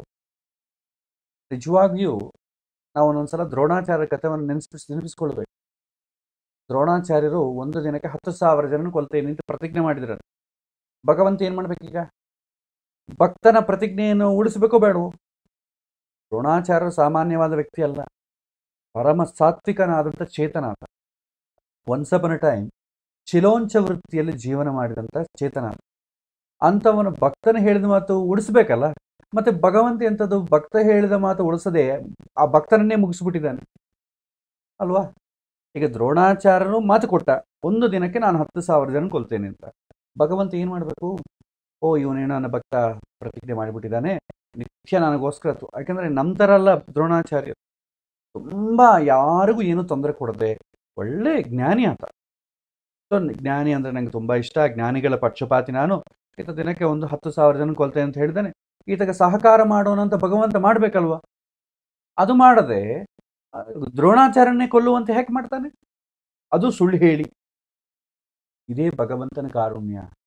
ಒಂದು ದಿನದಲ್ಲಿ ಹತ್ತು ಸಾವಿರ ಜನನ ಕೊಲ್ಲೋದೇನೋ ಓಕೆ. ಹತ್ತು ಸಾವಿರ ಜನನ ಕೊಂದ ಪಾಪ ಯಾರಿಗೆ ಬರುತ್ತೆ? ದ್ರೋಣಾಚಾರ್ಯರಿಗೆ ಬರುತ್ತೆ. ಅದು ಸಹಕಾರ ಮಾಡಿದರೆ, ಅದು ಇನ್ನ ತೊಂದರೆ ಕೊಟ್ಟಂಗೆ ಆಗ್ತದೆ ಒಬ್ಬ ಪರಮ ಸಾತ್ವಿಕನಿಗೆ ಹತ್ತು ಸಾವಿರ ಜನನ ಕೊಂದ ಪಾಪ ಬಂದರೆ ಅದು ಒಳ್ಳೇದು ಹೆಂಗಾಗ್ತದೆ? ಭಗವಂತ ಲೆಕ್ಕ ಹೀಗಿರುತ್ತೆ. ಇವನು ಏನೋ ಬಯಸ್ತಾ ಇದ್ದಾನೆ, ದೊಡ್ಡ ಕಾರ್ಯಕ್ಕೆ ಬಯಸ್ತಾ ಇದ್ದಾನೆ. ಆ ಕಾರ್ಯದಲ್ಲಿ ಇವನು ಈಡೇರಿಸಿದ್ರೆ ಇವನು ಆ ಸಂತೋಷಕ್ಕಿಂತಲೂ ದುಃಖವನ್ನೇ ಜಾಸ್ತಿ ಅನುಭವಿಸ್ತಾನೆ. ಇವನಿಗೆ ಆಗದೆ ಮಾಡೋಣ ಅಂತೇಳಿ ಭಗವಂತ ಮಾಡ್ತಾನೆ. ತಡಿತ ನಿಜವಾಗ. ಎಷ್ಟೋ ನಾವು ಬಯಸಿದಂಥದ್ದು ನಮಗೆ ಅನುಕೂಲ ಆಗದೆ ಭಗವಂತ ಮಾಡ್ತಾನೆ. ಯಾಕೆಂದ್ರೆ ಅದ್ರ ಮೇಲೆ ಕಾರುಣ್ಯ ಇದೆ. ನಮಗೆ ಗೊತ್ತಿಲ್ಲ. ಯಾವುದು ನಮಗೆ ಸುಖ ಕೊಡುತ್ತೆ? ಯಾವುದು ದುಃಖ ಕೊಡುತ್ತೆ ನಿಜವಾಗೂ ನಮಗೆ ಗೊತ್ತಿಲ್ಲ. ಯಾಕೆ ಗೊತ್ತಿಲ್ಲ? ಇಂದ್ರಿಯಗಳು ಬಯಸಿದ್ದೆಲ್ಲ ನಮಗೆ ಸುಖ ಕೊಡುತ್ತೆ ಅಂತ ನಾವು ಭ್ರಮೆಯಲ್ಲಿ ನಾವು ಜೀವನ ಮಾಡ್ತಾ ಇದ್ದೇವೆ. ಹಾಗಾಗಿ ನಾವೇನೋ ರೆಮಿಡಿ ಹೇಳಿ ಕೊಟ್ಟು ಕಳಿಸ್ಬಿಡ್ತೇವೆ. ಆದರೆ ಅವನು ಪೂಜೆ ಗೀಜೆ ಎಲ್ಲ ಮಾಡ್ತಾನೆ. ಆದರೂ ಆಗೋದಿಲ್ಲ. ಅವಾಗ ಏನು ಮಾಡ್ತಾನೆ? ಆ ಜ್ಯೋತಿಷ್ ಹತ್ರ ಹೋಗಬೇಡಿ. ಆ ಜ್ಯೋತಿಷ್ ಹೇಳ್ದು ಯಾವುದೂ ಆಗಿಲ್ಲ ಎಷ್ಟೋ ಪೂಜೆಗಳು ಮಾಡ್ಸಂದೆ ಎಲ್ಲ ಮಾಡಿದೆ. ಆದರೂ ನಾನು ಕೋರ್ಟಲ್ಲಿ ಕೇಸ್ ಗೆಲ್ಲಿಲ್ಲ ಏನೂ ಆಗಿಲ್ಲ. ತುಂಬ ತೊಂದರೆಗೊಳಗೆ ಆಗಿದ್ದೇನೆ ನಂಗೆ ಬರಬೇಕಾದ ಹಣನೇ ಬಂದಿಲ್ಲ. ಬಂದಿದ್ರೆ ಇನ್ನಿಷ್ಟು ಹಾಳಾಗ್ತಿದ್ದವು. ವ್ಯಸನಕ್ಕಾಗಿ. ಆದರೆ ಹೋಗಿದ್ದೆ ತುಂಬ ಒಳ್ಳೇದಾಯ್ತು ಅವನಿಗೆ. ಭಗವಂತನ ವರ್ಷನ್ ಹೀಗಿರುತ್ತೆ. ಜ್ಯೋತಿಷ್ಯನ ವರ್ಷನ್ ಹೇಗಿರುತ್ತೆ? ಅವನು ಅಂದುಕೊಂಡಿದ್ದು ಆಗೋಗ್ಬಿಟ್ರೆ ನಂಗೆ ಒಳ್ಳೆ ಹೆಸರನ್ನ ಉಳಿಯುತ್ತೆ. ಅಥವಾ ದುಡ್ಡನ್ನ ಬರುತ್ತೆ. ಇದು ಜ್ಯೋತಿಷ್ಯನ ವರ್ಷನ್. ನಮ್ದೆಲ್ಲ ಬಯಾಸ್ಡ್ ಆಗಿರುತ್ತೆ ಭಗವಂತ ಆ ಥರ ಡಿಸ್ಕ್ರಿಮಿನೇಷನ್ ತೋರಿಸೋದಿಲ್ಲ. ಹಾಗಾಗಿ ನಿಜವಾಗಿಯೂ ನಾವು ನಿಜ ಒಳ್ಳೆ ಸಲಹೆ ಒಬ್ಬನ ಒಳ್ಳೇದು ಉದ್ಧಾರ ಮಾಡಬೇಕು ಅಂತಾದರೆ ಕಾನ್ಸೆಪ್ಟ್ ತಿಳ್ಕೊಳ್ಬೇಕು. ಯಾರಿಗೆ, ಅವನಿಗೆ ಅದು ಬರೋದ್ರಿಂದ ನಿಜವಾಗಿ ಸಂತೋಷ ಆಗ್ತದ. ಇದು ಜ್ಯೋತಿಷ್ಯನಿಗೆ ಗೊತ್ತಾಗ್ತದೆ. ಎಷ್ಟೋ ಜನ ನಾನು ಫಾರಿನಿಗೆ ಹೋಗ್ಬೇಕ್ರಿ. ಈಗ ತಂದೆ, ವಿಚಿತ್ರ ಏನಂತಂದ್ರೆ ತಂದೆ ತಾಯಿಗಳೇ ಕೇಳ್ತಾರೆ. ನನ್ನ ಮಗ ತುಂಬಾ ಪ್ರಯತ್ನ ಮಾಡ್ತಾ ಇದ್ದಾನೆ ಆನ್ ಸೈಟ್ಗೆ ಯಾವಾಗ ಹೋಗ್ತಾನೆ ಹೇಳಿ. ತಂದೆ ತಾಯಿಗಳಿಗೂ ಕೂಡ ಯಾವುದು ಸುಖ, ಯಾವ್ದು ದುಃಖ ಗೊತ್ತಿಲ್ಲ. ಯಾಕೆಂತಂದ್ರೆ ಸಣ್ಣ ಮಕ್ಕಳಿದ್ದಾಗ, ಅಯ್ಯೋ ಓದ್ಲಿಲ್ಲಲ್ಲ ಉದ್ಧಾರ ಆಗ್ಲಿಲ್ಲಲ್ಲ ಅಂತ ಪೇಚಾಡ್ತಾರೆ ಪಾಪ. ಅವ್ರು ಚೆನ್ನಾಗಿ ಒಳ್ಳೆ ಮಾರ್ಕ್ಸ್ ಪಡಿಬೇಕು ರ್ಯಾಂಕ್ ಪಡಿಬೇಕು, ಅವ್ರಿಗಿಂತಲೂ ಜಾಸ್ತಿ, ಇವ್ರಿಗೆ ಟೆನ್ಷನ್ ಜಾಸ್ತಿ ಆಗಿರುತ್ತೆ. ಎಲ್ಲ ಪಡಿತಾನೆ ಐ ಐ ಟಿ ಅಲ್ಲಿ ಚೆನ್ನಾಗಿ ಓದ್ತಾನೆ. ಎಲ್ಲ ಮಾಡಿ ಅವನಿಗೆ ಆನ್ ಸೈಟ್ ಆಪರ್ಚುನಿಟಿ ಬರುತ್ತೆ. ದೇವರುಗಳ ಸುತ್ತೋದೇನು ಜ್ಯೋತಿಷ್ಯನ ಕೇಳೋದೇನು ಇಲ್ಲರಿ ನಮ್ಮ ಮಗನ ಅಮೆರಿಕ ಹೋಗ್ತಾನೆ, ಪಕ್ಕದ ಮನೆಯವ್ರು ಹೋಗಿದ್ದಾರೆ, ಅವ್ರು ಹೋಗಿದ್ದಾರೆ, ಇವನು ಅಮೆರಿಕ ಯಾವಾಗ ಹೋಗ್ತಾನ್ರಿ? ಕೇಳಿ, ಕೇಳಿದ ಪ್ರಯತ್ನ ಮಾಡ್ತಾರೆ ಪಾಪ, ಅಲುದಾಡ್ತಾರೆ, ಶೌಚನೀಯ. ಸರಿ, ಆಯಿತು, ಆ ದಿನ ಬಂತು, ಸರಿ ಅಮೆರಿಕ ಹೊರಟೋಗ್ಬಿಟ್ಟು ಮತ್ತೆ ಏನು ಕೇಳ್ತಾರೆ ನೆಕ್ಸ್ಟ್ ಪ್ರಶ್ನೆ? ನಮ್ಮ ಮಗ ಇಂಡಿಯಾ ಯಾವಾಗ ಬರ್ತಾನ್ರಿ ಅಂತ ಕೇಳ್ತಾರೆ ಯಾಕೆಂದ್ರೆ ಅವ್ನು ಅಲ್ಲಿ ಸೆಟ್ಲ್ ಆಗ್ಬಿಟ್ಟಿರ್ತಾನೆ. ಯಾಕೆಂದ್ರೆ ನಿಜವಾಗಿ ಸುಖ ಬೇಕು ಅಂತ ಅನ್ಬೋದು, ಇವ್ರಿಗೆ ಎಚ್ಚರ ಇರೋದಿಲ್ಲ. ಮಗ ಇಂಡಿಯಾಲಿ ಅಮೆರಿಕಾಲಿದ್ರೆ ಸುಖವೋ ಇಂಡಿಯಾಲಿದ್ರೆ ಸುಖವೋ? ನಾವು ಪ್ರೀತಿ ಮಾಡುವಂಥ ವ್ಯಕ್ತಿ ಹತ್ತು ಕಣ್ಣು ಮುಂದೆ ಇರಬೇಕು, ದೂರ ಇರಬೇಕು. ದೂರ ಇರಬೇಕು ಅಂತ ಬಯಸೋದು ಇವರೇ. ಕಣ್ಣು ಮುಂದೆ ಇರಬೇಕು ಅಂತ ಬಯಸೋದು ಇವರೇ. ಇದು ಹೆಂಗೆ ಹೆಂಗೆ ಸಾಧ್ಯ? ಇದು ಭಗವಂತನ ಪ, ಇದಕ್ಕೆ ಭಗವಂತನೇ ಕನ್ಫ್ಯೂಸ್ ಆಗ್ತಾನೆ ನಮ್ಮ ಬೈಕೆಗಳಿಂದ ನಿಜವಾಗಿ ಏನು ಬೇಕೋ ನಮಗೆ ಗೊತ್ತಿಲ್ಲ. ಸೊ ಹಾಗಾಗಿ ಏನು ಬಯಸ್ತಾ ಇದ್ದಾನೆ ಪ್ರಶ್ನೆ ಅಂತ ತುಂಬಾ ಕಾಮನ್ ಸೆನ್ಸಿಂದ ನೋಡಬೇಕು. ಆವಾಗ ನಾವೇನಾದರೂ ಉತ್ತರವನ್ನು ಕೊಡ್ಬೋದು. ಇಲ್ಲದ್ರೆ ಏನಾಗುತ್ತೆ? ಎಲ್ಲರ ಜ್ಯೋತಿಷ್ಯರ ಥರ ನಾವು ಒಂದು ಅವ, ಅವನು ಪ್ರಶ್ನೆ ಕೇಳ್ತಾನೆ, ಜಾತಕವನ್ನು ನೋಡೋದು, ಪುಣ್ಯ ಇದೆಯಾ ಇಲ್ವೋ? ಇದೆ, ನಿಂಗೆ ಅನುಕೂಲ ಆಗುತ್ತೆ. ಯಾವಾಗ ಆಗುತ್ತೆ? ದಶೆ ಯಾವಾಗ ಬರುತ್ತೆ? ಆವಾಗ ಬಂದ್ಬಿಡ್ತದೆ. ಅನುಕೂಲ ಆಗುತ್ತೆ? ಹೋ. ಅವನಿಗೆ ದುಡ್ಡೇನೋ ಬರುತ್ತೆ, ಅದರಿಂದ ದುಃಖ ಕೂಡ ಬರುತ್ತೆ. ಅದೇನು ಮಾಡಬೇಕು? ಎಂದೇ ಪಾಪ, ಒಬ್ಬ ವ್ಯಕ್ತಿ ಇದ್ದ. ಜ್ಯೋತಿಷ್ ಹತ್ರ ಹೋಗಿ ನನಗೆ ಒಳ್ಳೆ ಪುಷ್ಣಿ ಯಾವಾಗ ಬರ್ತೀನಿ, ಒಳ್ಳೆ ಪೊಸಿಷನ್ ಯಾವಾಗ ಬರ್ತೀನಿ ಅಂತ ಪ್ರಶ್ನೆ ಕೇಳ್ತಾ ಇದ್ದೆ. ಆಯ್ತಪ್ಪ, ನಿನ್ಗೆ ಇಂತಿಂಥ ಪೂಜೆ ಮಾಡು, ಇಂತಿಂತ ಮಾಡು, ನೀ ಒಳ್ಳೆ ಪೊಸಿಷನಾಗಿ ಬರ್ತೀಯ ಅಷ್ಟಕ್ಕೆ ಮುಂಚೆ ಏನೋ ಒಂದು ಆಫೀಸಲ್ಲಿ ಒಂದು ಕ್ಲರ್ಕ್ ಆಗಿದ್ದ. ಏನೋ ಮಾಡ್ಕೊಂಡು ಬೆಳಗ್ಗಿಂದ ಸಂಜೆವರೆಗೂ ಕೆಲಸ ಮಾಡಿಕೊಂಡು ಕ್ಯಾರೆಟ್ ತೊಗೊಂಡು ಮನೆಗೆ ಹೊಟ್ಟೋಗ್ತಿದ್ದ ಪ್ರಶಾಂತವಾಗಿದ್ದ. ಇವನು ಒಳ್ಳೆ ಪೊಸಿಷನಿಗೆ ಬರಬೇಕು ಅಂತ ಪ್ರಯತ್ನ ಮಾಡಿ, ಅಲ್ಲಿ, ಇಲ್ಲಿ ತುಂಬ ಹೊತ್ತು ಸ್ಪೆಂಡ್ ಮಾಡಿ, ದಿನಕ್ಕೆ ಏಯ್ಟ್ ಟು ಸಿಕ್ಸ್ಟೀನ್ ಅವರ್ಸ್ ಕೆಲಸ ಮಾಡಿದ ಪಾಪ. ಆದರೂ ಒಳ್ಳೆ ಅವನು ಬಯಸ್ ಬಯಸಿದಂಥ ಒಳ್ಳೆ ಪೊಸಿಷನಿಗೆ ಬಂದ. ಒಳ್ಳೆ ಶ್ರೀಮಂತನಾದ. ಒಳ್ಳೆ ಹಣವನ್ನು ಸಂಪಾದಿಸಿದ. ಆದರೆ ಏನಾಯಿತು? ಸೊ ಪ್ರೀತಿಯಾಗಿ ನೋಡಿಕೊಳ್ಳುವಂಥ ಹೆಂಡತಿ ಬೇರೆಯವನ ಜೊತೆ ಓಡಿ ಹೋದ್ರು. ಯಾಕಂದ್ರೆ ಇವನು ಈ ಪ್ರಯತ್ನ ಮಾಡ್ಕೊತಾ ಇದ್ದ. ಪಾಪ ಆಕೆ ಲೋನ್ಲಿ ಫೀಲ್ ಆಗ್ತಾ ಇದ್ದು ಬೇರೆಯವನ ಜೊತೆ ಓಡಿ ಹೋದ್ರು. ಮಕ್ಕಳನ್ನು ಹಿಡಿಸಿಕೊಳ್ಳಿಲ್ಲ.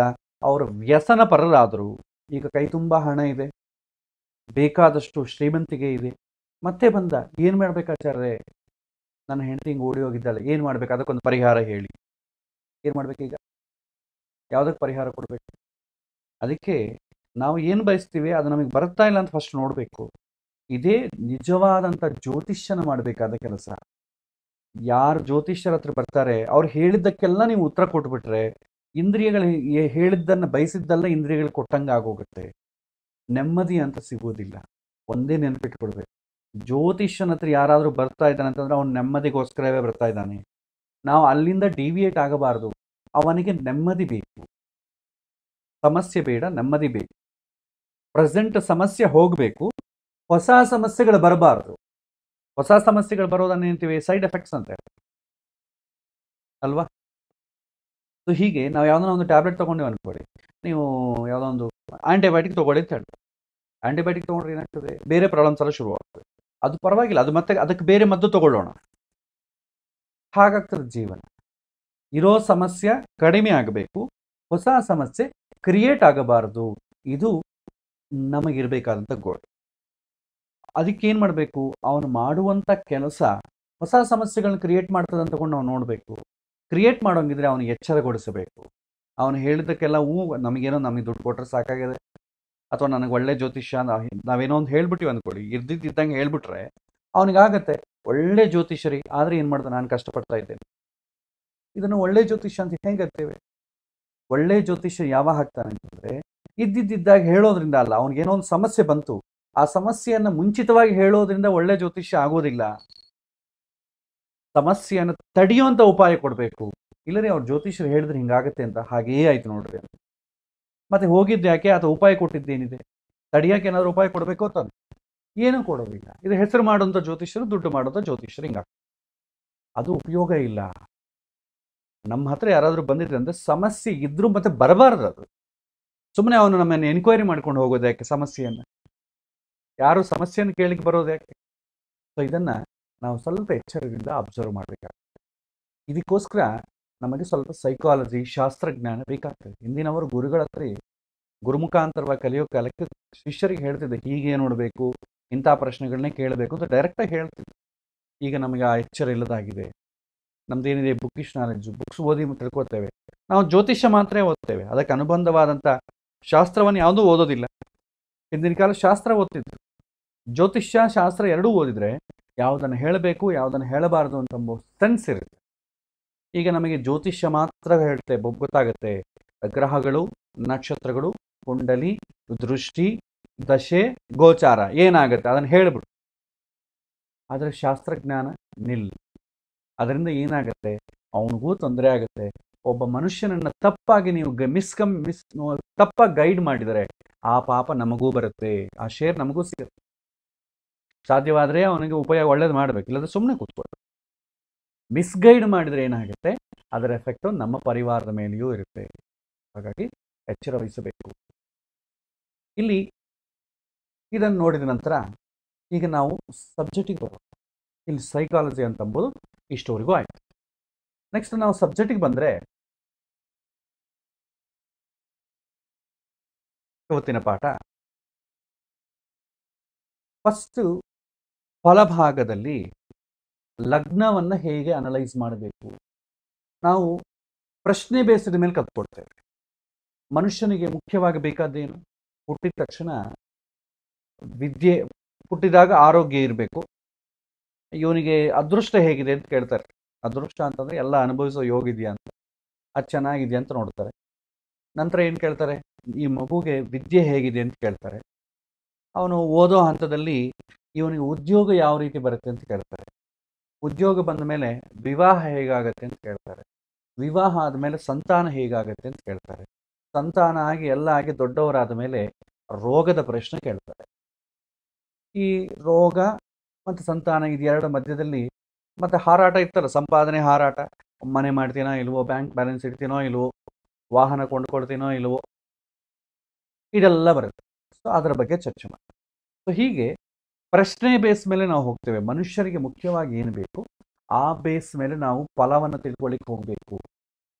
ಇದೆಲ್ಲ ಬಂದ ಮೇಲೆ ಉಳಿದ ಚಿಕ್ಕ ಚಿಕ್ಕ ಪ್ರಶ್ನೆಗಳೆಲ್ಲ ಇದರಲ್ಲ ಅಂತರ್ಭಾಗ ಆಗ್ಬಿಡ್ತದೆ ಸಪ್ರೇಟಾಗಿ ಕಲ್ತ್ಕೊಳ್ಳೋ ಕೆಲಸ ಇದೆ ನೀವು ಈ ನಾಲ್ಕನ್ನು ಅನಲೈಸ್ ಮಾಡೋ. ಚೆನ್ನಾಗಿ ಕಲ್ತ್ರೆ ಉಳಿದಿದ್ದು ಅನಲೈಸ್ ಮಾಡೋದು ತುಂಬ ಸುಲಭ.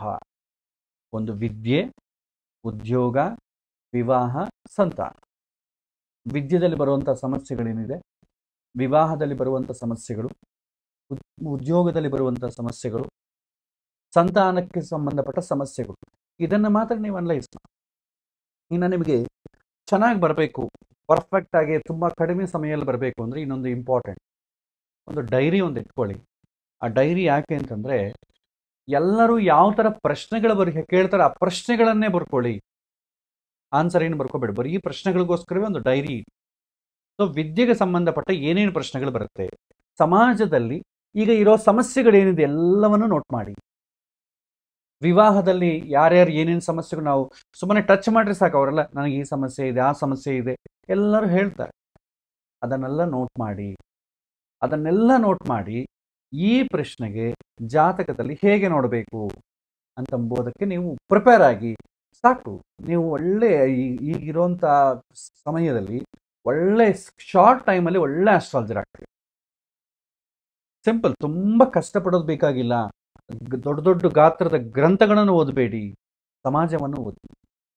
ಮನುಷ್ಯರ ಸಮಸ್ಯೆಗಳನ್ನು ಓದಿದ್ರೆ ಸಾಕು, ನಿಮ್ಗೆ ಉತ್ತರ ಸಿಗುತ್ತೆ. ಜಾಸ್ತಿ ಬುಕ್ಸ್ ಓದೋದು ಬೇಕಾಗಿಲ್ಲ. ಬುಕ್ಸ್ ಓದಿದ್ರೆ ಅದೆಲ್ಲ ಕೂಡ ಮತ್ತೆ ಯಾವಾಗನ ಸಮಸ್ಯೆ ಬಂದಾಗೇ ನೀವು ಅದನ್ನು ಉಪಯೋಗಿಸ್ಬೇಕು. ಕೆಲವೊಂದು ಉಪಯೋಗ ಕೂಡ ಬರೋದಿಲ್ಲ, ಎಷ್ಟೋ ವಿಷಯಗಳು. ಅಂಥದ್ದು ಬೇಡ. ಅದಕ್ಕೆ ಸೊ ಇಲ್ಲಿ ಪ್ರಿಡಿಕ್ಷನ್ ಪಾರ್ಟ್ ಸ್ಟಾರ್ಟ್ ಆಗುತ್ತೆ ಆದ ಕಾರಣ, ಇವತ್ತಿನಿಂದ ಒಂದು ಡೈರಿ, ಒಂದು ಹಳೇ ಡೈರಿ ಇಟ್ಕೊಳ್ಳಿ ನಿಮ್ಮ ಮನೆ. ಔಟ್ಡೇಟೆಡ್ ಡೈರೀಸ್ ಇರುತ್ತೆ. ಯಾರೋ ಒಂದು ಗಿಫ್ಟ್ ಎಲ್ಲ ಕೊಡ್ತಾರೆ, ಮನೆಗೆ ಬಿದ್ದಿರುತ್ತೆ, ಯಾವುದಕ್ಕೂ ಬಳಸಲ್ಲ. ಅಂತ ಡೈರಿ ಇಟ್ಕೊಳ್ಳಿ. ಸೊ, ನಾಲ್ಕು ಭಾಗ ಮಾಡಿ. ವಿದ್ಯಾ, ಉದ್ಯೋಗ, ವಿವಾಹ, ಸಂತಾನ ಅಥವಾ ಐದು ಭಾಗ ಮಾಡಿ. ಮಿಸ್ಲೇನಿಯಸ್ ಕೊನೆಯದೊಂದು ಹಾಕಿ ಸೊ, ವಿದ್ಯೆಯಲ್ಲಿ ಸಂಬಂಧಪಟ್ಟ ಪ್ರಶ್ನೆಗಳನ್ನೆಲ್ಲ ಬರ್ಕೊಳ್ಳಿ. ಸೊ, ಪ್ರತಿ ನಿಮ್ಮನ್ನು ಯಾರ್ಯಾರು ಕೇಳ್ತಾ ಇರ್ತಾರೆ ನಾವು ಇಲ್ಲಿ ಕಲ್ತ್ಕೊಳ್ತೇವೆ. ವಿದ್ಯಾ, ವಿದ್ಯೆಯನ್ನು ಹೇಗೆ ನೋಡಬೇಕು ಅಂತ ಕಲ್ತ್ಕೊಳ್ತೇವೆ.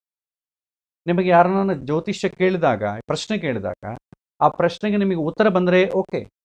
ಇದಕ್ಕೆ ಹೇಗೆ ನೋಡಬೇಕು ಗೊತ್ತಾಗಿಲ್ಲ ಇಮಿಡಿಯೇಟ್ಲಿ ಪುಸ್ತಕದಲ್ಲಿ ಬರ್ಕೊಳ್ಳಿ ಅದಕ್ಕೆ ನೆಕ್ಸ್ಟ್ ಉತ್ತರ ತಿಳ್ಕೊಳ್ಳಿ ಆ ಉತ್ತರ ಹೇಗೆ ನೋಡಬೇಕು ಅಂತ ಟಿಕ್ ಮಾಡ್ಕೊಳ್ಳಿ. ಈ ಪ್ರಶ್ನೆಗೆ ಹೀಗೆ ನೋಡಬೇಕು.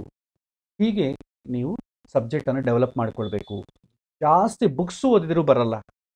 ಸುಮ್ಮನೆ ಇನ್ನೊಬ್ಬರ ಹತ್ರ ಡಿಸ್ಕಷನ್ ಮಾಡಿದ್ರು ಬರಲ್ಲ. ಇದು ಅಂತಹ ಸಬ್ಜೆಕ್ಟ್ ಅಲ್ಲ. ಸೊ ಹಾಗಾಗಿ ಈ ಎಚ್ಚರವನ್ನು ಕೊಡ್ತಾ ಇದ್ದೇನೆ. ಇದಕ್ಕೆ ಪ್ರಿಪೇರ್ ಆಗಿ. ಮೊದಲು ನಾವು ಲಗ್ನದ ಬಗ್ಗೆ ಪರಿಶೀ, ಪರಿಶೀಲನೆ ಮಾಡೋಣ. ಯಾರಾದರೂ ಜಾತಕವನ್ನು ಕೊಟ್ಟರೆ ಮೊದಲು ಏನು ನೋಡಬೇಕು? ಜಾತಕದಲ್ಲಿ ಅಂದರೆ ಲಗ್ನವನ್ನು ನೋಡಬೇಕು. ಜನ್ಮ ಲಗ್ನ. ಲಗ್ನದಲ್ಲಿ ಬಾಳಾಕ ಇದೆ. ಜನ್ಮ ಲಗ್ನ, ಪ್ರಶ್ನೆ ಲಗ್ನ, ಮುಹೂರ್ತ ಲಗ್ನ. ಮದುವೆ ಯಾವ ಟೈಮಲ್ಲಿ ಲಗ್ನ ರೀತಿ ಕೇಳ್ತೇವೆ?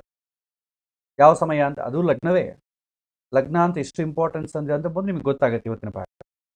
ಇಲ್ಲಿ ಜನ್ಮ ಲಗ್ನವನ್ನ ಜಾತಕದಲ್ಲಿ ಹುಟ್ಟಿದಾಗ ಲಗ್ನ ಇರುತ್ತಲ್ವ?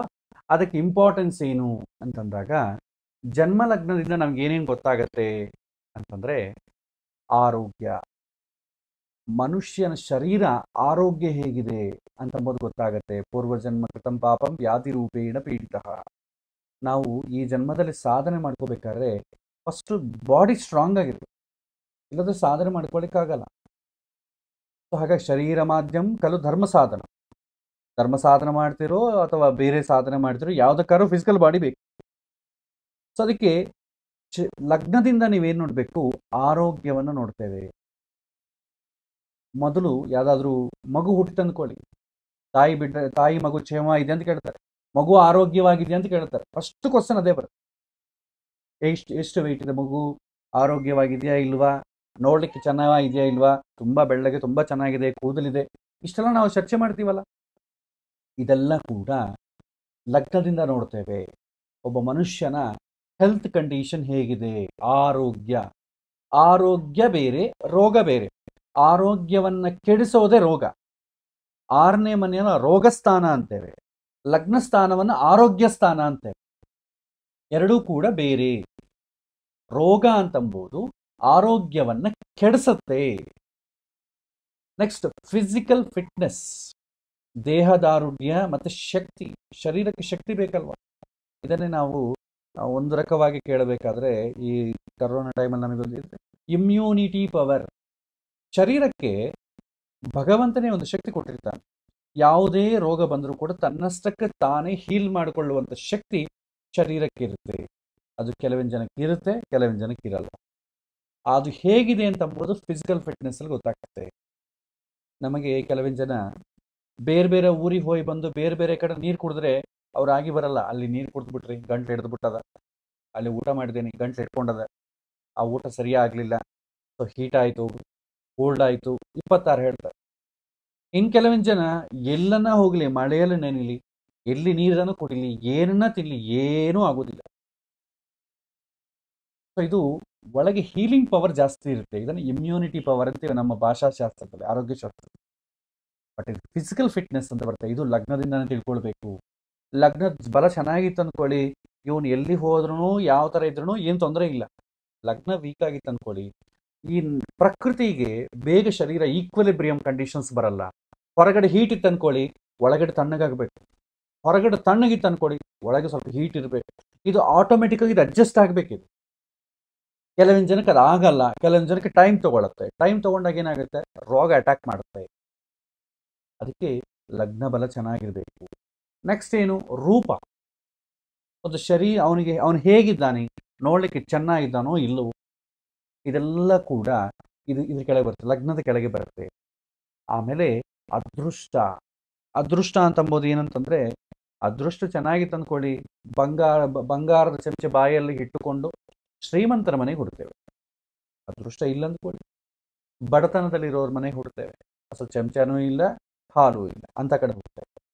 ಅದೃಷ್ಟ ಅಂತಂಬೋದು ಅಥವಾ ನಮಗೆ ಭೋಗಿಸುವಂತ ಅದೃಷ್ಟ, ಅದೆಲ್ಲ ಕೂಡ ಲಗ್ನ ಬರದ ಕೆಳಗೆ ಬರುತ್ತೆ. ನೆಕ್ಸ್ಟ್ ಯೋಗ. ಯೋಗ ಅಂತಂದ್ರೆ ಏನು, ಅವನು ಬಂದ್, ಅವನು ಹುಟ್ಟಿದ ತಕ್ಷಣ ಆ ಮನೆಯಲ್ಲಿ ಎಲ್ಲ ಕೆಲಸ ಎಲ್ಲ ಸಂತೋಷ ಆಗ್ಬಿಡ್ತದೆ. ತಂದೆಗೆ ಉದ್ಯೋಗ ಬಂದ್ಬಿಡ್ತದೆ. ಕೋರ್ಟ್ ಕೇಸ್ ಗೆದ್ದು ಬಿಡ್ತಾನೆ.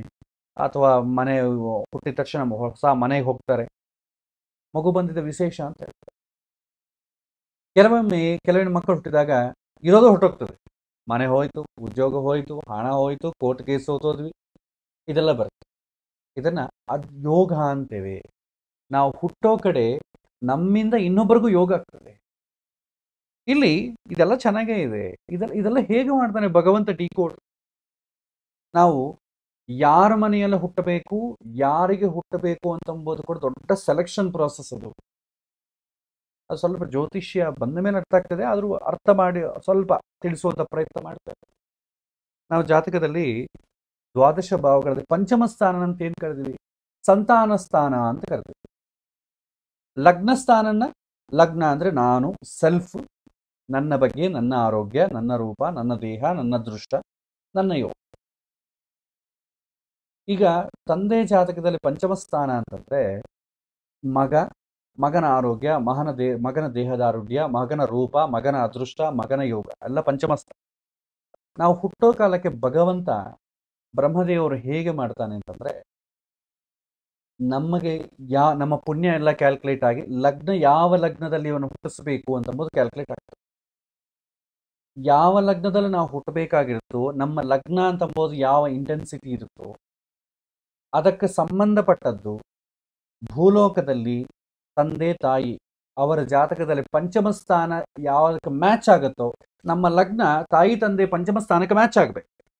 ಆ ಮ್ಯಾಚ್ ಯಾರಿಗಾಗುತ್ತೋ ಆವಾಗ ಅವ್ರ ಹೊಟ್ಟೆಯಲ್ಲಿ ನಾವು ಹುಡ್ತೇವೆ ಅದು ಮ್ಯಾಚ್ ಆಗಿಲ್ಲ ಅಂತಂದ್ರೆ ವೆಯ್ಟಿಂಗ್ ಲಿಸ್ಟಲ್ಲಿ ಇರಬೇಕಾದ್ರೆ ವೆಯ್ಟಿಂಗ್ ಲಿಸ್ಟ್ ಅಂದ್ರೆ ಏನು? ನಕ್ಷತ್ರ ಶರೀರ. ನಿಮಗೆ ಸ್ವಲ್ಪ ಶಾಸ್ತ್ರದಲ್ಲಿ ಬರುತ್ತೆ. ಮನುಷ್ಯ ಈ ಶರೀರವನ್ನು ಬಿಟ್ಟ ತಕ್ಷಣ ಪ್ರೇತ ಶರೀರಕ್ಕೆ ಹೋಗ್ತಾನೆ. ಪ್ರೇತ ಶರೀರಕ್ಕೆ ಹೋಗಿ ನರಕಲೋಕದಲ್ಲಿ ಗೇಟ್ ಪಾಸ್ ತಗೊಂಡು ಯಾವ ವೇಲ್ ಹೋಗಬೇಕು ಅಂತ ನೋಡಿಕೊಂಡು ನಾರ್ತ್ ಗೇಟಾ ಸೌತ್ ಗೇಟಾ ಈಸ್ಟ್ ಗೇಟಾ ವೆಸ್ಟ್ ಗೇಟಾ ನೋಡಿಕೊಂಡು ಒಳಗೆ ಹೋಗಿ ನಮ್ಮದ ಕರ್ಮದ ಡೆ, ಪುಣ್ಯ, ಪಾಪ ಪುಣ್ಯಗಳ ಡೇಟಾಬೇಸನ್ನೆಲ್ಲ ಕೂಡ ಎವ್ಯಾಲ್ಯೂಯೇಟ್ ಮಾಡ್ತಾರೆ.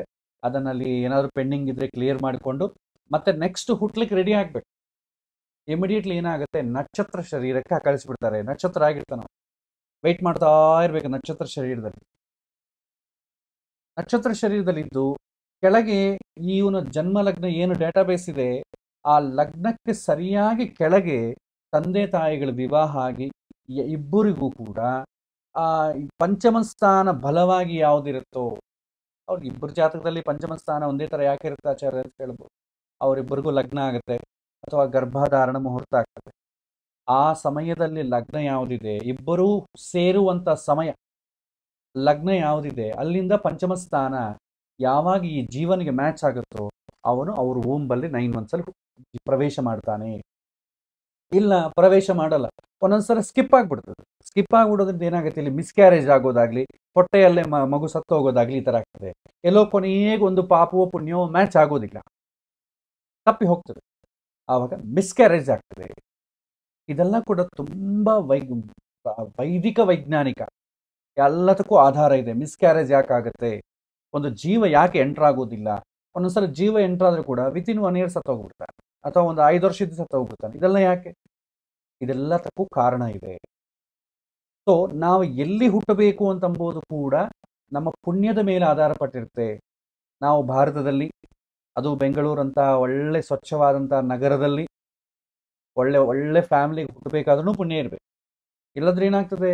ನಾರ್ತ್ ಕೊರಿಯಾಲೋ, ಆಫ್ಘಾನಿಸ್ತಾನಲ್ಲೋ ಈ ಅಮೆಜಾನ್ ಈ ನೀವು ನೀವು ಇದು ನೋಡಿ Discovery channel National Geographic channel ನೋಡಿ, ಇಷ್ಟೆಂತ ಪೂರ್ ಪಾಪ, ತುಂಬಾ ಒದ್ದಾಡ್ತಾರೆ ಪಾಪ ಈ ಪೂರ್ ಕಂಟ್ರೀಸ್ ಅಂತ ನೀವು ಇಂಟರ್ನೆಟ್ಲೋ ಯೂಟ್ಯೂಬ್ ಎಲ್ಲ ಹಾಕಿ ನೋಡಿ ಹೇಗಿರುತ್ತೆ, ಅವ್ರ ಜೀವನ ಹೇಗಿರುತ್ತೆ ನೋಡಿ ಅಂತ ಅಲ್ಲಿ ಒಂದು ಜೀವ ಅಂಥವ್ರ ಮನೆಗೆ ಹುಟ್ಟಬೇಕು ಅಂತಂದ್ರೆ ಯಾವುದು ಸಾಧನೆ ಇಲ್ಲ, ಅಸಲು ಊಟವೇ ಇಲ್ಲ. ಸಾಧನೆ ಮತ್ತೆ ನಾವು ಎಷ್ಟೋ ಕಂಫರ್ಟ್ ಆಗಿ ಜ್ಯೋತಿಷ ಗೀತೀಶ ಕಲ್ತ್ಕೊಂಡು ಕಂಫರ್ಟ್ ಆಗಿ ಒಂದು ಸಂಡೇ ಒಂಬತ್ತು ಗಂಟೆಗೆ ಕೂತ್ಕೊಂಡು ಕಲಿತಾ ಇದ್ದೀವಿ ನಾವು. ಅವರಿಗೆ ಯಾವ ಸ್ವಲ್ಪ ಪ್ರಜ್ಞೆನೇ ಇರಲ್ಲ ಇವತ್ತು ಏನಪ್ಪ ಊಟ? ನಾಳೆ ಏನಪ್ಪ ಊಟ? ಭಯ ಭಯ ಜೀವನ. ಯಾರು ಹೊಡಿತಾರೋ ಗೊತ್ತಿಲ್ಲ. ಯಾವ್ದು ಬಂದು ಕೊಲ್ಲತ್ತೋ ಗೊತ್ತಿಲ್ಲ. ಅಂತ ಕಡೆ ಜೀವನ ಮಾಡ್ತಾರೆ. ಅಂತ ಕಡೆ ಹುಟ್ಟಬೇಕಾದ್ರೆ ಯಾವ ಕರ್ಮ ಇರಬೇಕು? ಅಂದ್ರೆ ನಾವು ಯಾವ ಮನೆ ಹುಟ್ಟಬೇಕು ಎಂಥ ಕಂಫರ್ಟ್ ಇರೋ ಜಾಗದಲ್ಲಿ ಹುಟ್ಟಬೇಕು ಎಷ್ಟು ಸೌಖ್ಯ ಇರಬೇಕು? ಎಲ್ಲಾನ ಯೋಗ ಅಂತ ಕರೀತಾರೆ. ಲಗ್ನ ಅಂತಂಬುದು ತುಂಬಾ ಇಂಪಾರ್ಟೆಂಟ್ ಲಗ್ನ ಇಲ್ಲದೆ ಇದ್ದರೆ, ಚೆನ್ನಾಗಿಲ್ಲದೆ ಇದ್ದರೆ ನಾವು ಇರೋ ಜಾಗ ಯಾವುದು ಕಂಫರ್ಟ್ ಆಗಿರಲ್ಲ ನಮಗೆ. ಅದಕ್ಕೆ ಪೂರ್ವ ಪುಣ್ಯ ಸ್ಥಾನ ಅಂತ ಕರಿತೇವೆ ಲಗ್ನವನ್ನ. ಸೊ ಈ ವಿಚಾರಗಳನ್ನೆಲ್ಲ ಕೂಡ ಲಗ್ನದಿಂದ ಡೀಲ್ ಮಾಡ್ಬೋದು. ಆರೋಗ್ಯ ಹೇಗಿದೆ? ದೇಹದ ಆರೋಗ್ಯ ಫಿಸಿಕಲ್ ಫಿಟ್ನೆಸ್ ಹೇಗಿದೆ? ಅವನ ನೋಡ್ಲಿಕ್ಕೆ ಹೇಗಿದ್ದಾನೆ? ನೋಡ್ಲಿಕ್ಕೆ ಹೇಗಿದ್ದಾನೆ ಅಂತಂಬುದು ಇದರಲ್ಲಿ ಬೇಕಿಲ್ಲ. ವಿವಾಹ ಆಗೋ ಸಮಯಕ್ಕೆ ನನ್ನ ಮಗಳಿಗೆ ಅಥವಾ ಮಗನಿಗೆ ಎಂಥ ಹುಡುಗಿ ಬರ್ತಾಳೆ, ಅವನ ರೂಪ ಹೇಗಿರುತ್ತೆ ಅಂತ ಕೇಳ್ತಾರೆ. ಅದಕ್ಕೆ ಅವ್ರ ಜನ್ಮ ಲಗ್ನವನ್ನು ನೋಡ್ತಾರೆ. ಅದೃಷ್ಟ. ಇವನ, ಇವನು ಅದೃಷ್ಟವಂತನಾಗಿದ್ದಾನ ಇಲ್ವಾ? ಯೋಗ ಹೇಗಿದೆ ಅಂತ ಅಂಬೋದು ನೋಡ್ತೇವೆ. ಅದೃಷ್ಟ ಅಂಬೋದು ಇನ್ನೂ ಇನ್ನೊಂದು ಹೇಳ್ತೇವೆ. ಅನುಭವಿಸುವ ಯೋಗ. ಅನುಭವಿಸುವ ಯೋಗ ಇರಬೇಕು. ಈಗ ನಾನು ಕೆಲವೊಂದು ಎಕ್ಸಾಂಪಲ್ಸ್ ಕೊಡ್ತೇನೆ. ಕೆಲವೊಂದು ಮಕ್ಕಳು ಇರ್ತಾರೆ. ತುಂಬ ಶ್ರೀಮಂತರ ಮಕ್ಕಳು ಅವ್ರಿಗೆ ನಿಜವಾಗಿ ಓದ್ಕೊಳ್ಬೇಕಾದ್ರೆ ಏನು ತೊಂದರೆ ಇಲ್ಲ ಅವರಿಗೆ. ಅವ್ರಿಗೆ ತಂದೆ ಜಸ್ಟ್ ಈ ಮಗು ಅಂದ್ಕೊಂಡ್ರೆ ಸಾಕು. ದೊಡ್ಡ ಕಾಲೇಜಲ್ಲಿ ಸೀಟ್ ಸಿಗುತ್ತೆ. ಫಾರಿನಿಗೆ ಹೋಗಿ ಕೂಡ ಕಾಲೇಜಲ್ಲಿ ಸೀಟ್ ತೆಗೆಸುವಂಥ ಕೆಪಾಸಿಟಿ ಅವನಿಗಿರುತ್ತೆ. ಆದರೆ ಮಗಗೆ ಆ ಓದನ್ನು ಅನುಭವಿಸೋ ಯೋಗ ಇರಲ್ಲ.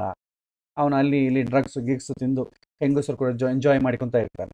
ಅಂದರೆ ಓದ್ಕೊಳ್ಬೇಕು ಎಂಬವನಿಗೇನೋ ಅದೃಷ್ಟ ಇಲ್ಲ. ಅದೃಷ್ಟ ಇದ್ದವನಿಗೇನೋ ಓದು ಬರ್ತಾ ಇಲ್ಲ. ಅಂದರೆ ಅನುಭವಿಸೋ ಯೋಗ, ಒಳ್ಳೆ ವಿದ್ಯೆ ಇದ್ರೂ ಕೂಡ ಅನುಭವಿಸುವ ಯೋಗ ಇರಲ್ಲ ಅವರಿಗೆ. ಇನ್ನು ಕೆಲವರಿಗೆ ಉದ್ಯೋಗ, ಒಳ್ಳೆ ಉದ್ಯೋಗ ಇರುತ್ತೆ. ಆ ಹಣವನ್ನು ಅನುಭವಿಸೋ ಯೋಗ ಇರಲ್ಲ. ತುಂಬ ಕಷ್ಟಪಡ್ತಾರೆ. ಹಣವನ್ನು ತೆಗೆಯೋ ಯೋಗ ಇರಲ್ಲ. ನಾವೆಷ್ಟೊಂದು, ನಾನು ಅವನಿಗನ ಚೆನ್ನಾಗಿ ಓದಿದ್ದೀನಿ ಒಳ್ಳೆ ಫಸ್ಟ್ ರ್ಯಾಂಕ್ ಬಂದಿದೆ. ನಾ ಇನ್ನ ನೋಡಿ ಸಣ್ಣ ಉದ್ಯೋಗ ಮಾಡ್ಕೋತಿದ್ದೀನಿ. ನನ್ನ, ದಡ್ಡ, ನಾನು ನಾನು ನೋಡಿಸಿ ಪಾಸ್ ಮಾಡಿದ್ದೇನೆ. ಅವನು ಇವತ್ತು ಪೊಲಿಟಿಷಿಯನ್ ಆಗಿ ನನ್ನ ಮೇಲೆ ಆಡ್ತಿದ್ದಾನ ಅವನು. ಓದಿಕೊಂಡು ಫಸ್ಟ್ ಬೆಂಚರ್ ಏನೋ ಕಲೆಕ್ಟರ್ ಆಗ್ತಾನೆ ಐ ಎ ಎಸ್ ಆಗಿ ಲಾಸ್ಟ್ ಬೆಂಚರ್ ಏನಾಗ್ತಾನೆ? ಪೊಲಿಟಿಷಿಯನ್ ಆಗಿ ಈ ಕಲೆಕ್ಟರ್ನ ಗೈಡ್ ಮಾಡೋದು ಅವನು. ಇದು ನಮ್ಮ ದೇಶದ ಪರಿಸ್ಥಿತಿ. ಸೊ ಹೀಗಾಗ್ತದೆ. ಅಂದ್ರೆ ಅನುಭವಿಸುವ ಯೋಗ ಬೇಕು. ಅವನಿಗೆ ಅನುಭವಿಸೋ ಯೋಗ ಇದೆ. ವಿದ್ಯೆ ಇಲ್ಲ, ಆದ್ರೆ ಅನುಭವಿಸೋ ಯೋಗ ಇದೆ. ಒಳ್ಳೆ ಶ್ರೀಮಂತನಾಗ್ತಾನೆ ಅವನು. ಬಹಳ ಜನಕ್ಕೆ ಸುಂದರವಾದಂತ ಹೆಂಡತಿ ಮತ್ತು ಗಂಡ ಇರ್ತಾರೆ. ಅನುಭವಿಸುವ ಯೋಗ ಇರಲ್ಲ. ಅನುಭವಿಸುವ ಯೋಗ ಅಂದ್ರೆ ಅರ್ಥ ಏನಂತಂದ್ರೆ ಸಂತೋಷವಾಗಿ ನಗುನಗುತ್ತಾ ಇರೋದಿಲ್ಲ. ನಾಲ್ಕು ಜನಕ್ಕೆ ಹೋದಾಗ, ಅಯ್ಯೋ, ಎಷ್ಟು ಚೆನ್ನಾಗಿದಾರಪ್ಪ ಗಂಡ, ಹೆಂಡತಿ. ಮೇಡ್ ಫಾರ್ ಈಚ್ ಅದರ್ ಅಂತ ಇದ್ದಂಗಿರ್ತಾರೆ ಅದು ನಿಜವೂ ಹಂಗೆ ಆಗುತ್ತೆ ಮೇಡ್ ಫಾರ್ ಈಚ್ ಅದರ್ಸ್. ಆ ಥರ ಆಗ್ಬಿಡ್ತದೆ ಪರಿಸ್ಥಿತಿ. ಯಾಕಂದ್ರೆ ಮೇಲ್ನೋಟಕ್ಕೆ ನೋಡಿ, ಅವ್ರು ಇಷ್ಟು ಚೆನ್ನಾಗಿದ್ದಾರೆ ನೋಡಿ, ನೀವು ಯಾಕೆ ನಾನು ಕೂಡ ಇಷ್ಟು ಜಗಳ ಆಡ್ತೀನಿ ಅಂತ ಹೆಂಡತಿ ಕೇಳ್ತಾರೆ. ನೋಡಿದ ತಕ್ಷಣ ಹೆಂಗೆ ಗೊತ್ತಾಗುತ್ತೆ? ಯಾರ ಮನಸ್ಸಲ್ಲಿ ಏನಿದೆಯೋ ಅಂಥವ್ರು ಈಗ ನೋಡಿ, ಸಿನಿಮಾ ಕಲಾವಿದರೆಲ್ಲ ಮದುವೆ ಮಾಡ್ಕೊಳ್ತಾರೆ. ಒಂದು ವರ್ಷ ಆದಮೇಲೆ ಡೈವರ್ಸ್ ತಗೊಳ್ತಾರೆ. ಒಬ್ಬೊಬ್ಬರು ಎರಡೆರಡು, ಮೂರು ಮೂರು ಮಾಡ್ಕೊಳ್ತಾರೆ. ಮತ್ತು ಅಷ್ಟು ಚೆನ್ನಾಗಿದ್ದು ದಾಂಪತ್ಯ ಸೌಖ್ಯ ಇದ್ರೆ ಯಾಕೆ ಡೈವರ್ಸ್ ತಗೊಳ್ತಾರೆ? ಇಲ್ಲದಕ್ಕೆ ತಾನೆ. ಅಂದ್ರೆ ಒಳ್ಳೆ ಹೆಂಡತಿ ಅಥವಾ ಗಂಡ ಇದ್ದಾರೆ, ಆದರೆ ಅನುಭವಿಸುವ ಯೋಗ ಇಲ್ಲ. ನೆಕ್ಸ್ಟ್ ಬಹಳ ಜನಕ್ಕೆ ಮಕ್ಕಳಿರ್ತಾರೆ. ಆದರೆ ಅನುಭವಿಸೋ ಯೋಗ ಇಲ್ಲ ಅಂದ್ರೇನು ಆ ಮಕ್ಕಳು ತಾವು ಹೇಳಿದ್ದು ಕೇಳೋದಿಲ್ಲ. ಅವ್ರ ಜೀವನ ಅವ್ರು ಮಾಡ್ಕೊಳ್ತಾ ಇರ್ತಾರೆ. ಏನೂ ಸಂಬಂಧ ಇರಲ್ಲ. ಅಸಲು ಕೆಲವಿನ ಜನ ಮಕ್ಕಳು ಹುಟ್ಟೋದೇ ಏನೋ ಒಂದು ಸೇಡ್ ತೀರಿಸ್ಕೊಳಕ್ ಕೊಡ್ತಾವೆ ಪಾಪ. ಹಿಂದಿನ ಜನ್ಮದಲ್ಲಿ ಸಾಲ ಕೊಟ್ಟಿರ್ತಾರೆ. ಈ ಜನ್ಮದಲ್ಲಿ ಅವ್ರ ತಂದೆ ಇವನಿಗೆ ಪೋಷ, ಪೋಷಣೆ ಮಾಡಬೇಕು. ಹಿಂದಿನ ಜನ್ಮದಲ್ಲಿ ಮಾಡಿದಂಥ ಸಾಲವನ್ನ ಮಗನ ರೂಪದಲ್ಲಿ ತೀರಿಸಬೇಕಾಗ್ತದೆ ಈ ಜನ್ಮದಲ್ಲಿ. ಹಿಂದಿನ ಜನ್ಮದಲ್ಲಿ ಯಾರಿಗೂ ದ್ರೋಹ ಮಾಡಿರ್ತಾನೆ, ಅವನೇ ಮಗನಾಗಿ ಹುಟ್ಟಿರ್ತಾನೆ, ಶತ್ರುವಾಗಿ ಹುಡ್ತಾನೆ ಮನೆಗೆ. ತಂದೆಯನ್ನೇ ಮುಗಿಸ್ಬಿಡ್ತಾನೆ. ಇನ್ನು ಕೆಲವು ತಟಸ್ಥರು ಅಂತ ಇರ್ತಾರೆ. ಅಸಲು ಮಕ್ಕಳು ಹಿಡ್ಸ್ಕೊಳ್ಳೋದೇ ಇಲ್ಲ. ಇದ್ದಂದ್ರೆ ಅವ್ನು ಅವ್ನು ನೋಡ್ಕೋತಾನೆ. ಚೆನ್ನಾಗಿ ಓದ್ಕೋತಾರೆ. ಅವ್ರ ಪಾಟಿಗೆ ಅವ್ನು ಮದುವೆ ಮಾಡ್ಕೊಂಡು ಫಾರಿನಿಗೆ ಹೊಟ್ಟೋಗ್ತಾನೆ ಈ ಅಪ್ಪ, ಅಮ್ಮ ಏನು ಕೇಳೋದು ರೀಸೆಂಟ್ ಒಂದು ಘಟನೆ ಆಯ್ತು. ಹೈದರಾಬಾದ್ ನಗರದಲ್ಲಿ ಪಾಪ ಒಬ್ಬ ರಿಟೈರ್ಡ್ ಏನು ಸಮಥಿಂಗ್ ಏನೋ ಸೆಕ್ರೆಟೇರಿಯೇಟ್ಲು ಎಲ್ಲೋ ಕೆಲಸ ಮಾಡ್ತಾ ಇದ್ದ ಪಾಪ. ಒಳ್ಳೆ ಪೊಸಿಷನ್ ಆಗಿದ್ದಾನೆ. ಇಬ್ಬರು ಮಕ್ಕಳು, ಗಂಡು ಮಕ್ಕಳು. ಗಂಡು ಮಕ್ಕಳನ್ನು ಚೆನ್ನಾಗಿ ಓದಿಸಿದ್ದಾನೆ. ಇಬ್ಬರು ಹೋಗಿ ಅಮೆರಿಕದಲ್ಲಿ ಸೆಟ್ಲ್ ಆಗ್ಬಿಟ್ಟು ಇವನು ಪಾಪ ಏನೋ ಅವ್ರಿಗೇನೋ ದುಡ್ಡು ಬರುತ್ತಲ್ಲ ಪಿ ಎಫ್ ಗಿ ಎಫ್ ಎಲ್ಲ ಬಂದು ಸ್ವಲ್ಪ ಆಸ್ತಿ ಗೀಸ್ತಿ ಎಲ್ಲ ಇತ್ತು ಮಾಡಿಕೊಂಡು ಐಷಾರಾಮ ಜೀವನ್ ಆರಾಮಾಗಿ ಇಲ್ಲಿದ್ದಾರೆ. ಒಂದು ಸಡನ್ನಾಗಿ ಒಂದು ದಿನ ಇಬ್ಬರು ಮಕ್ಕಳು ಬಂದರು. ತಂದೆ ತಾಯಿಗಳಿಗೆ ನಮಸ್ಕಾರ ಮಾಡಿದರು. ನೀವಿಬ್ಬರು ಇಲ್ಲಿರೋದು ನಾವು ಅಲ್ಲಿರೋದು ನಮಗೇನು ಚೆನ್ನಾಗಿಲ್ಲ. ನಾವು ಉದ್ಯೋಗನ ಬಿಟ್ಟು ಬರೋಕ್ಕೂ ಆಗೋದಿಲ್ಲ. ನಾವೆಲ್ಲರೂ ಅಲ್ಲಿಗೆ ಹೊರಟೋಗೋಣ ಅಂತಂದರು. ತಂದೆಗೂ ತುಂಬ ಖುಷಿ ಆಯಿತು, ಮಕ್ಕಳ ಹತ್ರ ಇರೋಣ ಅಂತೇಳಿ. ಏನು ಮಾಡಿದ್ರು? ಇನ್ನು ನಾವಿನ್ನು ಪರ್ಮನೆಂಟ್ ಅಲ್ಲೇ ಹೊರಟೋಗ್ತೀವಲ್ಲ, ಇಲ್ಲಿ ಪ್ರಾಪರ್ಟಿ ಎಲ್ಲ ಡಿಸ್ಪೋಸ್ ಮಾಡಬೇಕಲ್ಲ, ಎಲ್ಲವನ್ನು ಮಾರಿಬಿಟ್ರು. ಒಂದು ತಿಂಗಳಿದ್ರು. ತನ್ನ ಮನೆ, ಆಯುಷ್ ಎಲ್ಲ, ಜಾಗ ಎಲ್ಲ ಮಾರಿಬಿಟ್ರು ತಂದೆ ಏನು ಮಾಡ್ತಾನೆ, ಆಯ್ತಪ್ಪ, ಎಲ್ಲ ನಿಮ್ಮ ಅಮೆರಿಕ ಹೋಗೋಣ. ಅಮೆರಿಕದಲ್ಲಿ ನನ್ನ ಅಕೌಂಟ್ ಇದಪ್ಪ ಅದಕ್ಕೆ ಹಾಕ್ಕೊಡ್ತೇವೆ ಅಲ್ಲಿ ಹೋದ್ಮೇಲೆ ನಿಮ್ಗೆ ಅಕೌಂಟ್ ಕ್ರಿಯೇಟ್ ಮಾಡಿ ಹಾಕ್ತೇವೆ ಅಂತಂದರು ಸೊ ಎಲ್ಲರೂ ಮಕ್ಕಳ ಅಕೌಂಟಲ್ಲಿ ಹಾಕ್ಕೊಂಡ್ರು ಬೋರ್ಡಿಂಗ್ ಪಾಸ್ ಎಲ್ಲ ತೊಗೊಂಡು ಏರ್ಪೋರ್ಟಿಗೆ ಕರ್ಕೊಂಡು ಹೋದ್ರು. ಇಲ್ಲೇ ಕೂತಿರಿ ಬೋರ್ಡಿಂಗ್ ಪಾಸ್ ತರ್ತೀರಿ ಅಂತಂದರು ಹೋದರು. ನಾಲ್ಕು ತಾಸು ಆಯಿತು, ಐದು ತಾಸು ಆಯಿತು, ಬರಲೇ ಇಲ್ಲ ಅಲ್ಲಿ ಏರ್ಪೋರ್ಟಲ್ಲಿ ಪೊಲೀಸ್ ಇರ್ತಾನೆ. ಏನಪ್ಪ ಇಲ್ಲಿ ಕೂತಿದ್ದೀರಿ, ಎಷ್ಟೊತ್ತಾಯಿತು? ನಿಮ್ದು ಯಾವ ಫ್ಲೈಟ್ ಅಂತ ಕೇಳ್ತಾನೆ. ಅವ್ರು ಇಂತಿಂಥ ಫ್ಲೈಟ್ ರೀ, ಅದು ನಮ್ಮ ಮಗ ಹೋಗಿದ, ಆ ಫ್ಲೈಟ್ ಹೋಗಿ ತುಂಬ ಹೊತ್ತಾಯ್ತು ಅಂತಾರೆ ಅಲ್ಲ ಎನ್ಕ್ವೈರಿ ಮಾಡಿದ್ರೆ ಮಕ್ಕಳಿಬ್ಬರು ಕೂಡ ಇವ್ರ ಆಸ್ತಿಯನ್ನೆಲ್ಲ ಮಾರಿಸಿ ಹಣವನ್ನು ತಗೊಂಡು ಬೇರೆ ದೇಶಕ್ಕೆ ಹೋಗೋದು ಸ್ವಂತ ಮಕ್ಕಳೇ ನೋ ಎಮೋಷನ್ಸ್ ಎಮೋಷನ್ಸ್ ಇದ್ರೆ ಹಿಂಗೆ ಯಾಕೆ ಮಾಡ್ತಾರೆ? ಮಕ್ಕಳಿದ್ದಾರೆ, ಆದರೆ ಎಮೋಷನ್ಸ್ ಇಲ್ಲ. ಅನುಭವಿಸುವ ಯೋಗ ಇಲ್ಲ. ಸೊ ತಟ್ಟೆ ತುಂಬ ಬೇಕಾದಷ್ಟು ಪದಾರ್ಥಗಳಿರೋದು ಮುಖ್ಯ ಅಲ್ಲ. ಅದು ತಿರ್ಲಿಕ್ಕೆ ಯೋಗ್ಯತೆ ಇರಬೇಕು. ನಾನು ಎಷ್ಟು ತಿಂತಾ ಇದ್ದೇನೆ? ಬೇಕಾದಷ್ಟು ಹಣ ಇದೆ. ನನಗೆ ಎಷ್ಟು ಉಪಯೋಗಕ್ಕೆ ಬರ್ತಾ ಇದೆ? ಬೇಕಾದಷ್ಟು ಸೌಖ್ಯವಾದ ಪದಾರ್ಥಗಳಿದೆ. ನಾನೆಷ್ಟು ಅನುಭವಿಸ್ತಾ ಇದ್ದೇನೆ. ಅಂತಂಬೋದು ಲಗ್ನ ಡಿಸೈಡ್ ಮಾಡುತ್ತೆ. ಚೆನ್ನಾಗಿ ಇಟ್ಕೊಳ್ಳಿ ತಿಳ್ಕೊಳ್ಳಿ. ಎಲ್ಲ ಇರುತ್ತೆ. ಅನುಭವಿಸುವ ಯೋಗ ಯಾರು ಹೇಳ್ತಾರೆ ಅಂದ್ರೆ ಲಗ್ನ ಹೇಳುತ್ತೆ. ಲಗ್ನಾಧಿಪತಿ ತಿಳಿಸ್ತಾನೆ. ಲಗ್ನ ಚೆನ್ನಾಗಿದ್ರೇನೆ ಅನುಭವಿಸುವ ಯೋಗ ಇರುತ್ತೆ. ಬೇಕಾದಷ್ಟು ಇರಲಿ ಇರಲಿ ಬಿಡಿ, ಬಿಡಲಿ. ಅನುಭವಿಸುವ ಯೋಗ ಬೇಕಂದ್ರೆ ಲಗ್ನ ಇರಬೇಕು. ಮಹಾಭಾರತದಲ್ಲಿ ಅನುಶಾಸನ ಪರ್ವ ಅಂತ ಅದರಲ್ಲಿ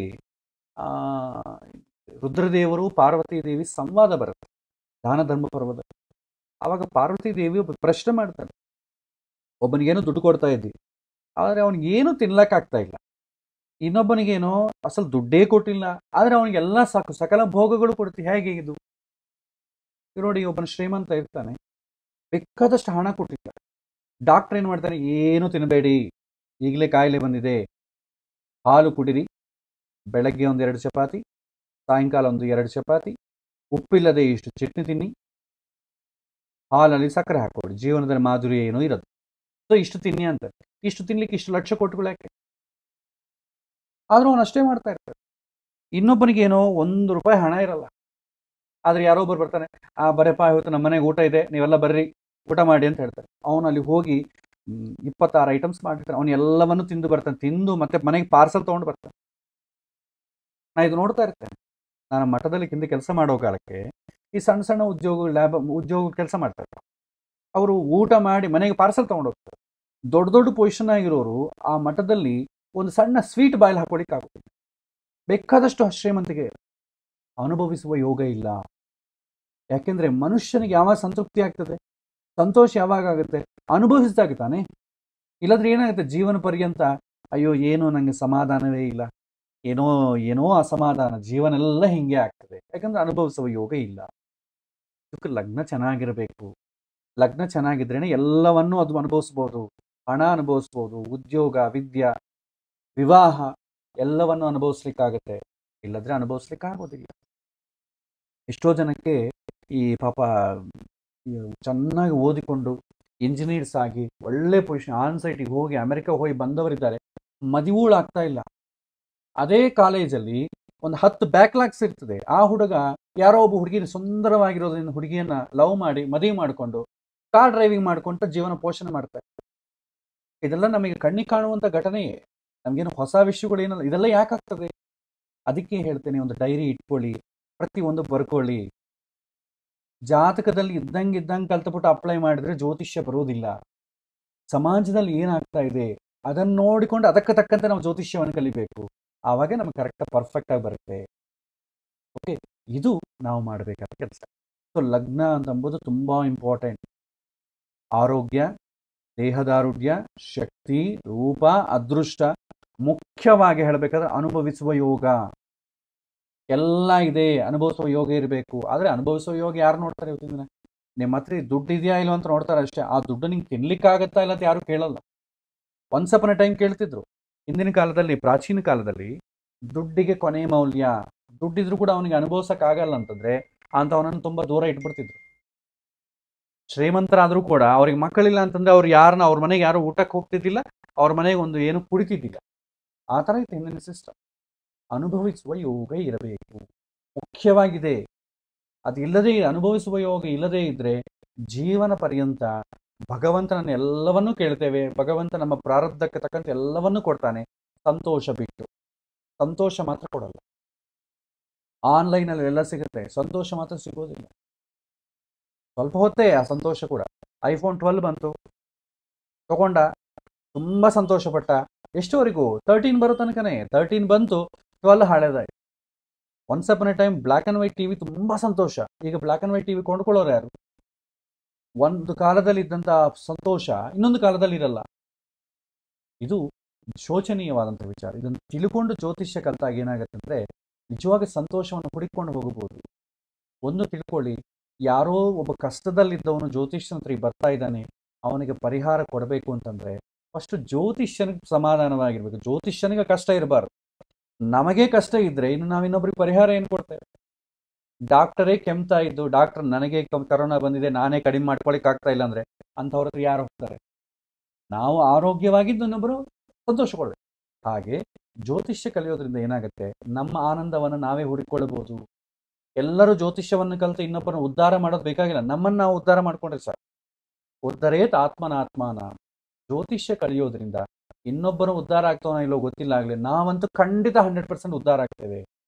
ನಮ್ಮ ನಮ್ಮ, ನಾವು ಸಂತೋಷವಾಗಿರಬೇಕು, ನಾವು ಶಾಂತಿಯುತವಾಗಿರಬೇಕು, ನಮಗೆ ಅನುಭವಿಸುವ ಯೋಗ ಇರಬೇಕು ಅಂತ ಯಾರಾದರೂ ಬಯಸಿದರೆ ಅಂಥವರಿಗೆ ಜ್ಯೋತಿಷ್ಯ ತುಂಬ ಹೆಲ್ಪ್ ಆಗುತ್ತೆ.